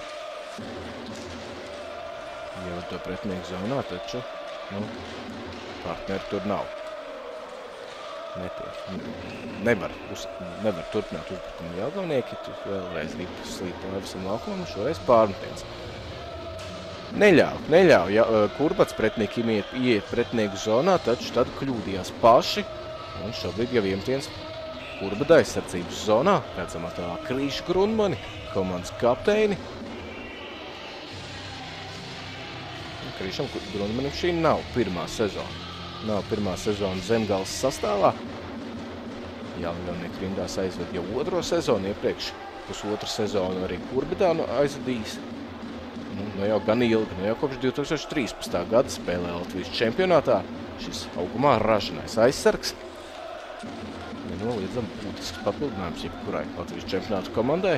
Tomēr Denīs Romanovskis pietur rīpais savus komandas vārtiem izdodas saspēle, nevarēja Spruks ņemt, ņemt šo ripu, tikt fiksēta piespēle ar roku, līdz ar to Jelgonieka atgūst ripu, tikpat ātri arī kļūdās savā aizsardzības zonā, tomēr situāciju spēja glābt Arturs Homjukovs, kurš pie, pārtar piespēli, kas jau sekojas vārtu priekš Homjukovs, pagājuši ieraida ripu pretinieku zonā, pats pirmais pēc tās arī nonāk. Un šobrīd Popovs noslēdz zonu.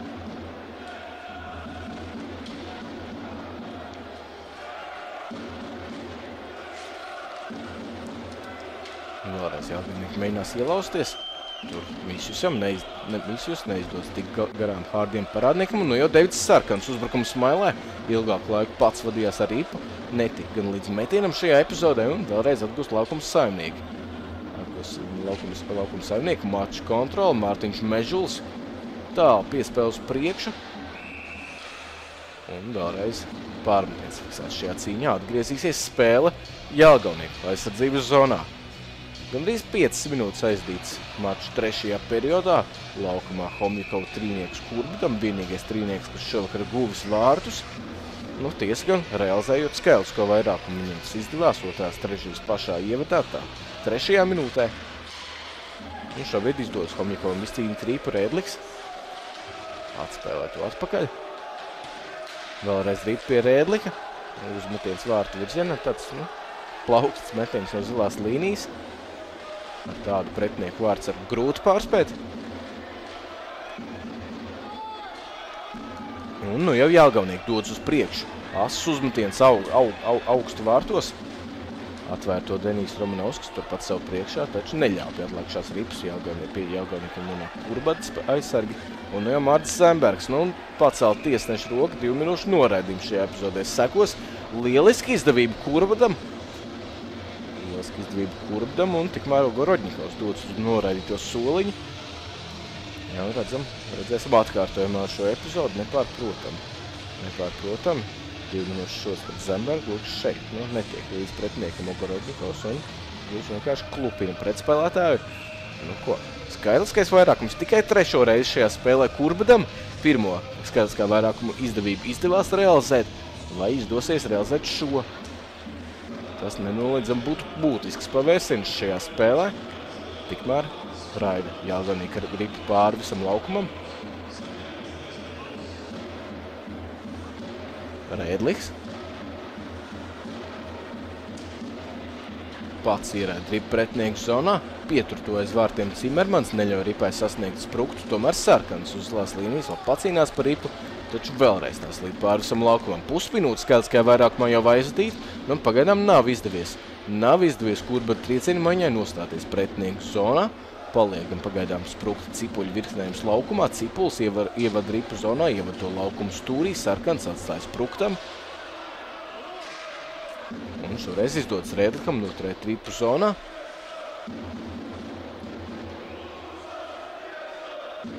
Saspēle, saspēle spēlētāju starpā, beidzot nostājušies pretinieku zonā. Bet pirmā mājas Sarkans piespēles čērsam zonai, ripu pie Rēdli, Rēdliks, augstkalnām. Sarkanim un, nu, kļūdās, neuztver ripu Mārtiņš Cipuls, labās, labā metiena pozīcijā viņš atradās viens pret vārtiem, vēlreiz slīd ripu pāri visam laukumam, 40 sekundes palicis, ko spēlēt skaidriskajā vairākumā, nomainās arī kurbada virknējums nāk laukumā. Homjakovs ar partneriem un Homjakovs jau sevi ierastā manierē viens pats no savas aizsardzības zonas, solo gājienā uz pretinieku vārtiem izdara arī metienu, tomēr Rihards Cimermans šo metienu atvēja. Jā, un jau vairākas reizes šajā spēlē, un vēl neskaitāms reizes šajā sezonā esam redzējuši šos Edgara Homjakovs solo reidus. Uzņem viņš augstu tempu savā aizsardzības zonā un vienatnē cenšas izlausties līdz pretinieku vārtiem. Visbiežāk tas, visbiežāk tas izdodas, taču bieži vien šie metieni nu, daudz vietas un daudz laika aizsargu vairs, vairs neatstāja. Līdz ar ko bieži vien viņi vairs nav tie paši, paši bīstamākie Brancis, nu, tur ir zonā Valters, un piespēlēt Homikovam kājās, Homikovs ar ripu. Atspēle Valteram, metiens no zilās līnijas, ripu vārtu priekšā nav piespiest, visbeidzot piespiež to Cimermanis.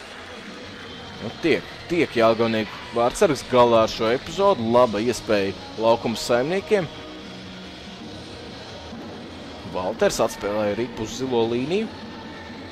Un tālāk jau vārtu priekšā Edgars Brāns pacīnījās un Toms Hartmans divatā.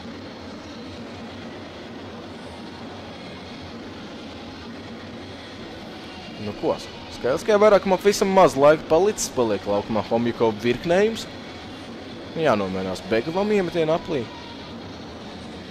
Viņa vietā stājas Ričards Benhards.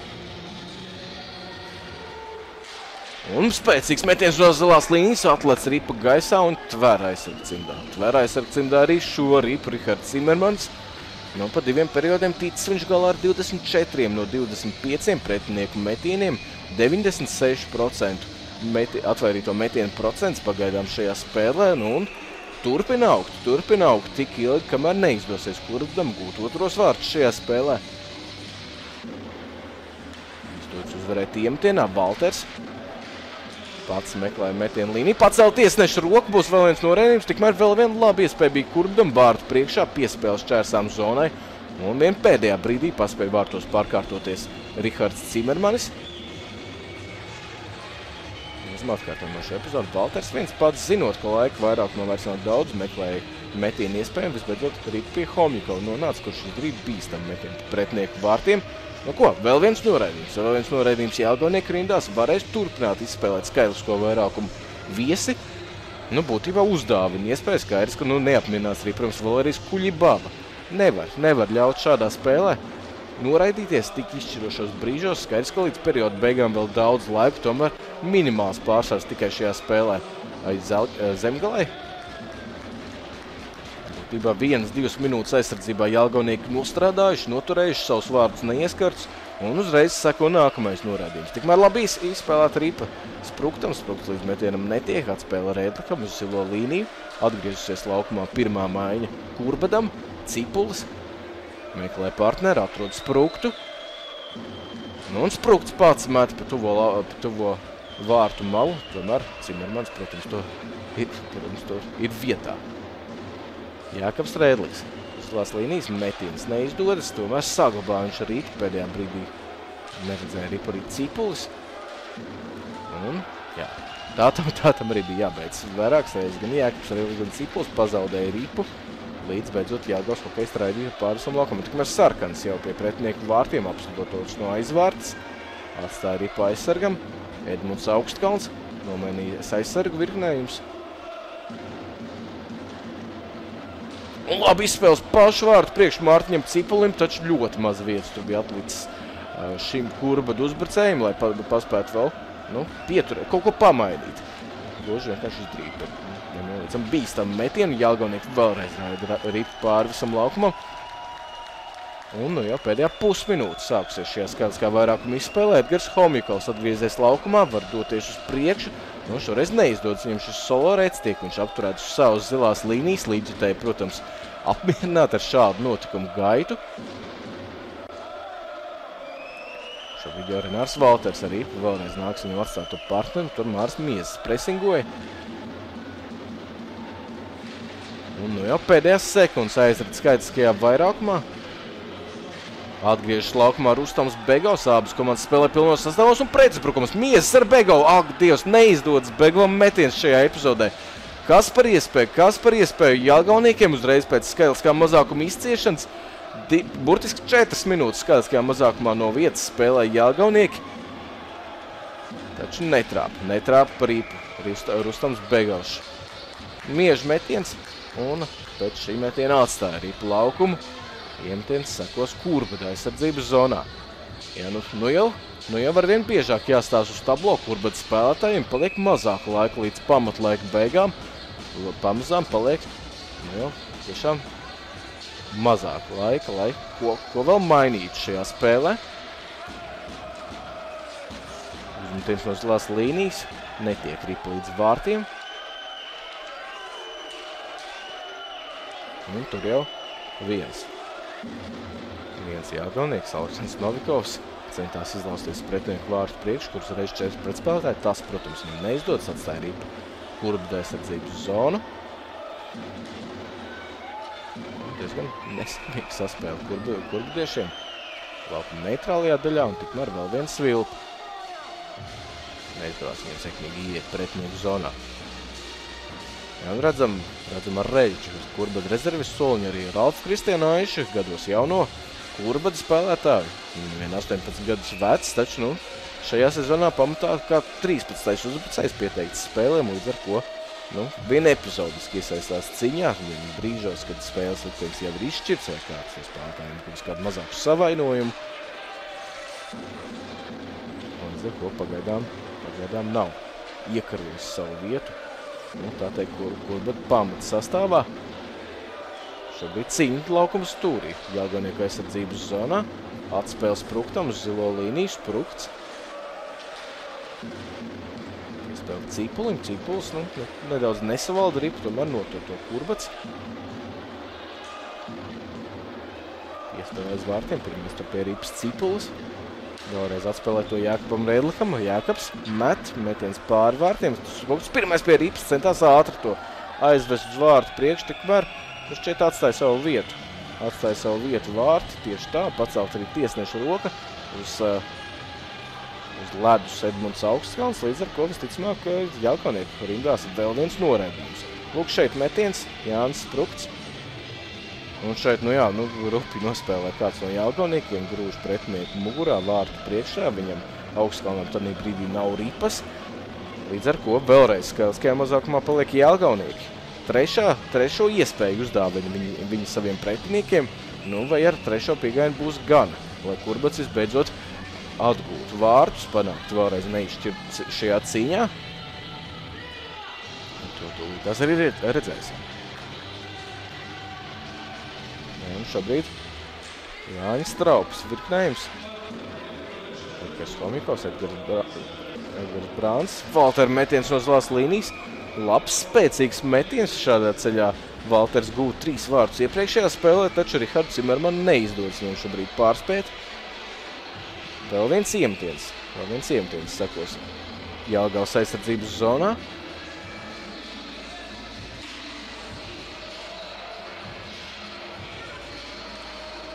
Un vēlreiz izcīna Ripu Kurbats. Valters arī piespēlē to Homikovam. Ātri saspēle. Taču neviens ne otrs neatrodas metienu pozīcijā. Homikovs gaisu piespēlē Ripu.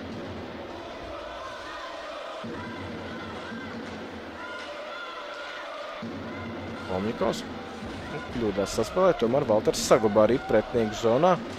Spēcīgs metiens no zilās līnijas. Valters. Valters met, trāpa ripu pa jāgaunieku aizsargu. Un arī šobrīd izdodas saglabāt ripu pretinieku zonā Kurbadam. Ilgāku laiku iespiest savā aizsardzības zonā. Jāgaunieki labi izspēles vārtu priekšēdgaram Brancim, paspēj viņš izdarīt metienu. Tomēr šķiet kāds no jāgaunieka aizsargiem patraucē, patraucē metienam nonāk līdz vārtiem, slīd ripu pāri visam laukumam, mazākā minūte palicis, ko spēlēt skaidriskajā vairākumā, nu un tikai 8 minūtes līdz pamatlaika beigām. Edmunds Augstkalns nāk laukumā pirmā maiņa, Kurbadams sprukts ar cipulu un sarkani, redzēsim vai viņi, vai viņš šobrīd spējas ko mainīt. Piespēles spruktam, Tad Jākaps Rēdliks bija pieslēdzies uzbrukumam, sprukts cipulim. Vēlreiz spruktam ripa. Nu, un tu pēdējā brīdī nesapratās, negaidīja šo piespēli cipuls, nebija gatavs viņu uzņemt. Aiz vārtiem pacīnās par ripu, protams, arī jālgaunieki. Izspēles spruktam, sprukts neatrodas metienu pozīcijā, nevarēs mest šajā epizodē. Nu, ko, maz laika palicis trešajā skaidriskajā vairākumā būtībā pēc kārtas sarkanim tik daudz laika, lai izdarītu metienu, lai notēmētu metienu, taču metiens, metiens garām vārtiem. Jākaps Redliks arī savā aizsardzības zonā, tikmēr laukumā, laukumā atgriežas Arturs Homikovs. Abas komandas spēlē vienādos sastāvos. Nu, šādi, šādi turpinot, ja, neizdos, ja neizdodas Kurdam realizēt trīs skatiskos vairākums pēc kārtas, skaidrs, ka uz neko daudz vairāk par uh, uz tablo redzamo rezultātu Kurbats nevar šajā cīņā sagaidīt. Cimermans iesaistās cīņā. Notur ripu zonā Logunovs, tālāk no tā pie Rānceva. Atspēlē aizsargam Blūks Valteram. Valtera metiens, nu šoreiz lēnāks, vairāk kā piespēles vārtu priekš domāta bija, bija, šī ripa. Un tikmēr Jālgaunieka pretsbrukumā, taču fiksēts pārmetiens. Atgriezīsies spēle. Atgriezīsies spēle Jālgaunieka aizsardzības zonā.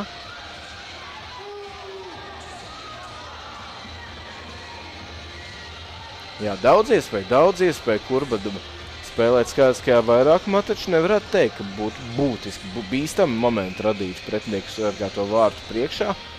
Nu, labs Renāra Valtera metiens, protams, no zilās līnijas, ass šķēliens. Taču ar šo metienu Rihards Cimermans tika galā. Jā, Cimermanim, protams, ļoti laba statistika šajā sezonā. Trīs, spēle, trīs, spēlēs, trīs spēles aizdīs, 93,8% pretinieku metienu atvairījis. Nu, pērn Pērn 91,5% pretinieku metienu atvairīja Rihards Semermans, nu līdz kopā ar Reini Petkus bija viņas starp labākajiem vārdsargiem Latvijas čempionātā. Cimermans trešais pēc vidējas spēlē atvairīto metienu procentu un tikmēr pusminūtu pārtraukumu pieteica. Pieteica kādu no komandām un līdz ar ko skaidrs, ka, jā, skaidrs, ka atbildīgākie brīži šajā spēlē tuvojas straujiem soļiem, pēc būtības jau ir klāt.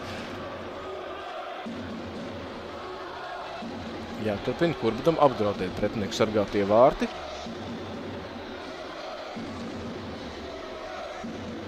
Edgars Homikos iemetienā.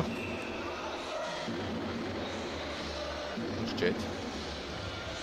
Man drīz vai ar, uz spēli ar divām maiņām pārgājuši, kur bet spēlētāji tikai abi šīs tur vairākuma maiņas pēdējā laikā redzēts laukumā. Tas, protams, saistīts arī ar to, ka 6 minūtes gandrīz pēc kārtas skaitiskajā vairākumā viesiem bija iespēja spēlēt. Neizdodas pūriem noturēt tripu zonā, atgriežas laukumā Valentīns Feoka Tīstovs, abas komandas vienādos sastāvos. Augstkalns. Piespēle uz priekšu. Un jau kur pēc pretinieks zonā asas metiens. Garām vārtiem pūrēs notur ripu zonā. Omjakovs uzmetiens vārtu virzienā atvēr no to Rihards Zimmermans ievirs spēle laukums stūrī. Jākonikam šobrīd nu neizdodas, neizdodas. Izraidīt ripu ārpus savas aizsardzības zonas. Homjakovam metiens praktiski no zilās līnijas. Vēlreiz precīzi vārtos Rihards Zimmermans. Tiešām labu spēli. Labu spēli aizvada šīs 25 gadus vecais vārdsargs. Nu, atcerēsimies arī Cimermans savā, savā laikā arī spēlēs Rīgas Dynamo sistēmā. 13. 14. gada sezonā arī bija arī pieteikts spēlē KHL, tomēr to pavadīja uz rezervistu soliņu, tikmēr bīstama epizodu vārtu priekšā. Maz tur trūka, lai nejauši ripu tomēr ieldot. Jelgonieks sargātajos vārtos sarkans ar ripu laukumu stūrī un vēl viens noraidījums šajā epizodē. Nu, šoreiz gan. Šoreiz gan. Vēl vien, vēlreiz, vēlreiz nesavaldās aizsardzībā Jāgaunieki. Vēl vien izcila izdevība Urbadam. Tikai 5 minūtes 34 sekundes palikuši līdz pamatlaika beigām.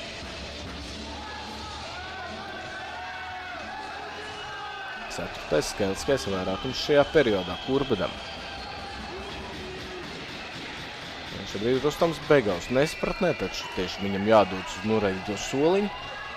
Nu, Begaus jau otro reizi šajā periodā nopelna divu minūšu sodu. Taču laukumā līdz ar to var turpināt spēlēt Sprukta un Homikova virknējumi. Sprukta ciemtienā pret viņu Adeļsons. Atspēle aizsargam, Augstkalns.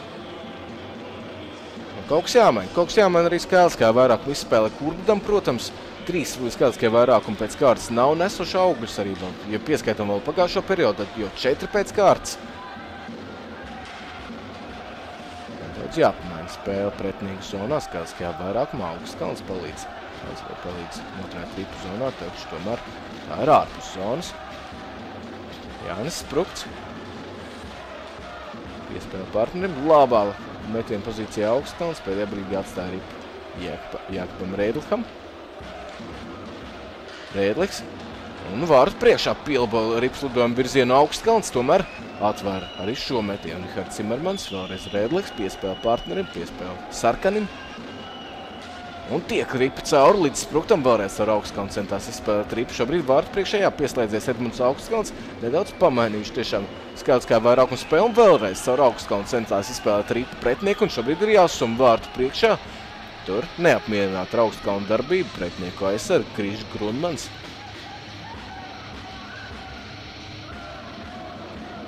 Jā, trešā. Trīs metienus pēc kārtas. Kurbats skaidrs vairākumā izspēlēja gaisā. Metieni gaisā. Un Augstkalnam uzdevums tos pielabot. Pielabot vārtu virzienā. Un tikmēr turpinās skaliskā vairākuma izspēle. Turpinās skaliskā vairākuma izspēle Kurbats. Spēle gan atsāksies. Atsāksies laukuma neitrālajā daļā.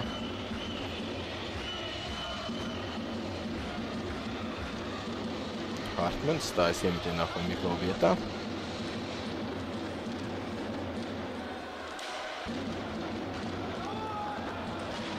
Jo Zemgals skaidriskajā mazākumā aizvirs ripus pretinieku, aiz pretinieku vārtiem. Mazākā minūte palicis, ko spēlēt vairākumam, uzmetiens no zilās līnijas pa galam neprecīzi, taču laiks šādā veidā tiek nodedzināts ar vien mazāk laika kurbedam.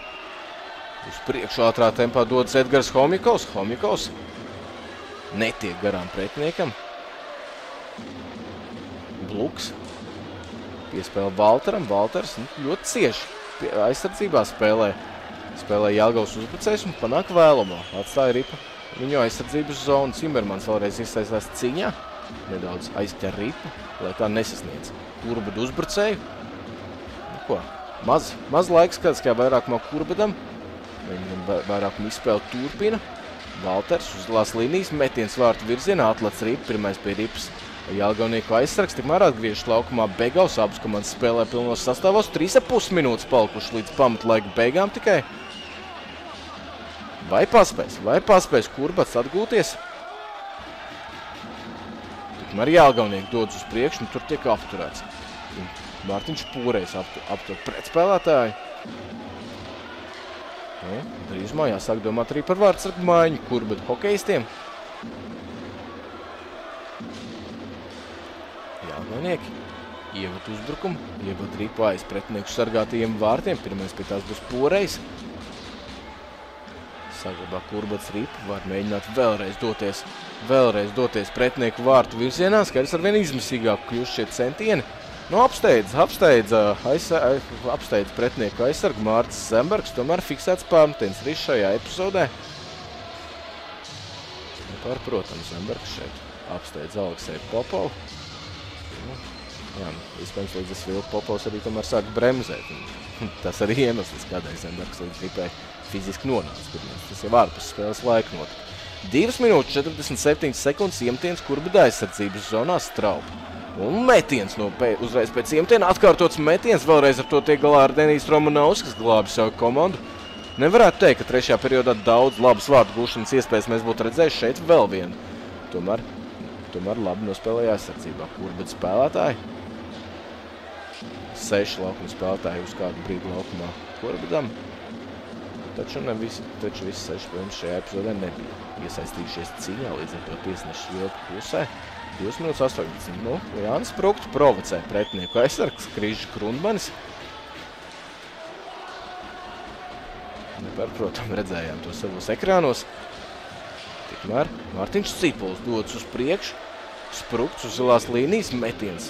Augstu gaisā virs vārtiem Bluks noslēdz zonu. Bluku metiens arī pie Riharda Cimermaņa. Mazākā divas minūtes palicis līdz pamatlaika beigām. Nu jau tik tiešām ar vien izmisīgāk. Kurbadu centieni uzbrukumā skaidrs, ka neizdodas realizēt četrus skaidriskos vairākumus vienā periodā, atrodoties iedzinējos ar vieniem vārtiem. Nu, tad kaut kas jāmaina. Un to Aleksandrs Macievskis ir gatavs darīt. Aleksandrs Macievskis pieprasa pusminūtes pārtraukumu. Nu, pirms brīža, pirms kādām piecām minūtēm redzējām pusminūtes pārtraukumu pieprasīja arī Valērijas Kuļibaba, arī Jelgaunieka galvenais treneris. Pašlaik Jelgaunieki neatrodas nu, tālu no tā, lai pārsteigtu, pārsteigtu savus šī vakara pretiniekus. Tomēr nenoliedzam, ka favorīti šajā cīņā. Urbats spēlētāji, taču daudz darba, protams, arī vēl Jelgauniekiem. Vēl divas minūtes. Vēl divas minūtes, kā minimums jā, jānotur savu vārtu neieskarti.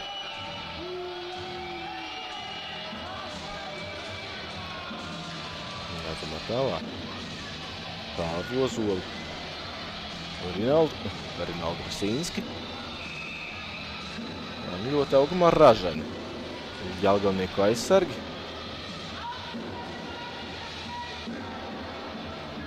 iesaistīti komandas rindām, tikmēr pirmā maiņa laukumā Kurbdam, protams. Dēvids Sarkans. Tukšiem vārtiem. Tukšiem vārtiem šobrīd spēlē Kurbats un labi iespēja vārtu priekšā saņem Ripu Cipuls, paspēja izdarīt metienu. Pietur Ripu uzbrukuma zonā Kurbats. Labi piespēles šķērsām zonai Mārtiņš Cipulis. Mārtiņš Cipulis. Taču Vēl iespaidīgāk spēlē vārtos Rihards Cimermans. Šādā spēles mirklī izcils cīpuļu metiens, taču Cimermans ar to tiek galā. Rancev atspēle aizsargam, Bluka tālāk piespēle Rancev un tālāk jau šķērsām zonai šeit piespēle. Izcili izdevība, taču tver aizsarga Cimermans. Šo Rihards Cimermanis. Nenoliedzam. Nenoliedzam. Cimerman pārliecība par saviem spēkiem šobrīd Grūti iedomāties, ka varētu būt vēl augstāka. Rancevs. Un nenotur ripu zonā Kurbats. Begaus dots uz priekšu, izspēles tukšiem vārtiem un rezultāts 3-1 tukšos vārtos ripu raida. Ripu raida Jālgaunieki. un svin, svin uzvar šajā spēlē un, protams, protams svinībām viss pamats. Redzam atkārtojumā šo epizodu. Julians Misjus pirmais pie rīpas. Un tur vārtu priekšā daudz laika. Daudz laika Artūram Hojmikovam. Un Artūrs Hojmikovs arī tas, kurš raida šo rīpu tukšajos vārtos. Un Hojmikovam otrais vārtu gūms šajā sezonā. Un līdz ar to nu, pa lielam jau varam sveikt, varam sveikt uh, jāgalniekus.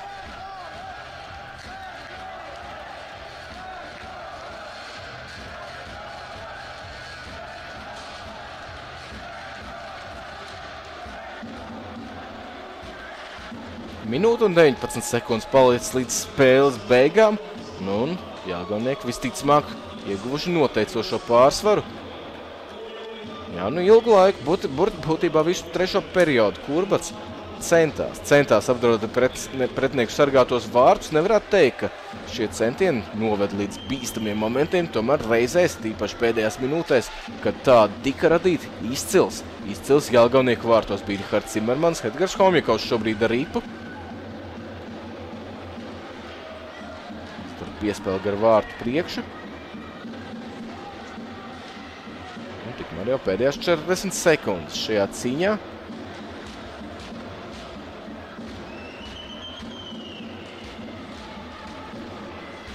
Nu, šeit arī zonu varēja nospilgt, taču arī tiesneši izvēlējās. Liek nevilcināt šo spēli, galu galā mača rezultāts nepārprotam jau ir izšķirts. Artjums Ogorodņikovs neuztver rīpu uzbrukumu zonā.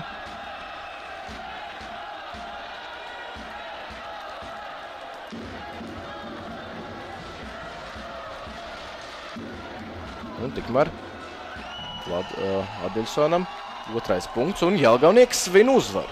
Svin uzvaru ar 3-1 pārspēju viņa divkārtējos Latvijas čempions hokeja klubu Kurbadu komandu, kuru nu, pērnā gada playoff fināla sērijā nereizi Jelgavnieka neuzvarēs šovakar savu skatītāju priekšā.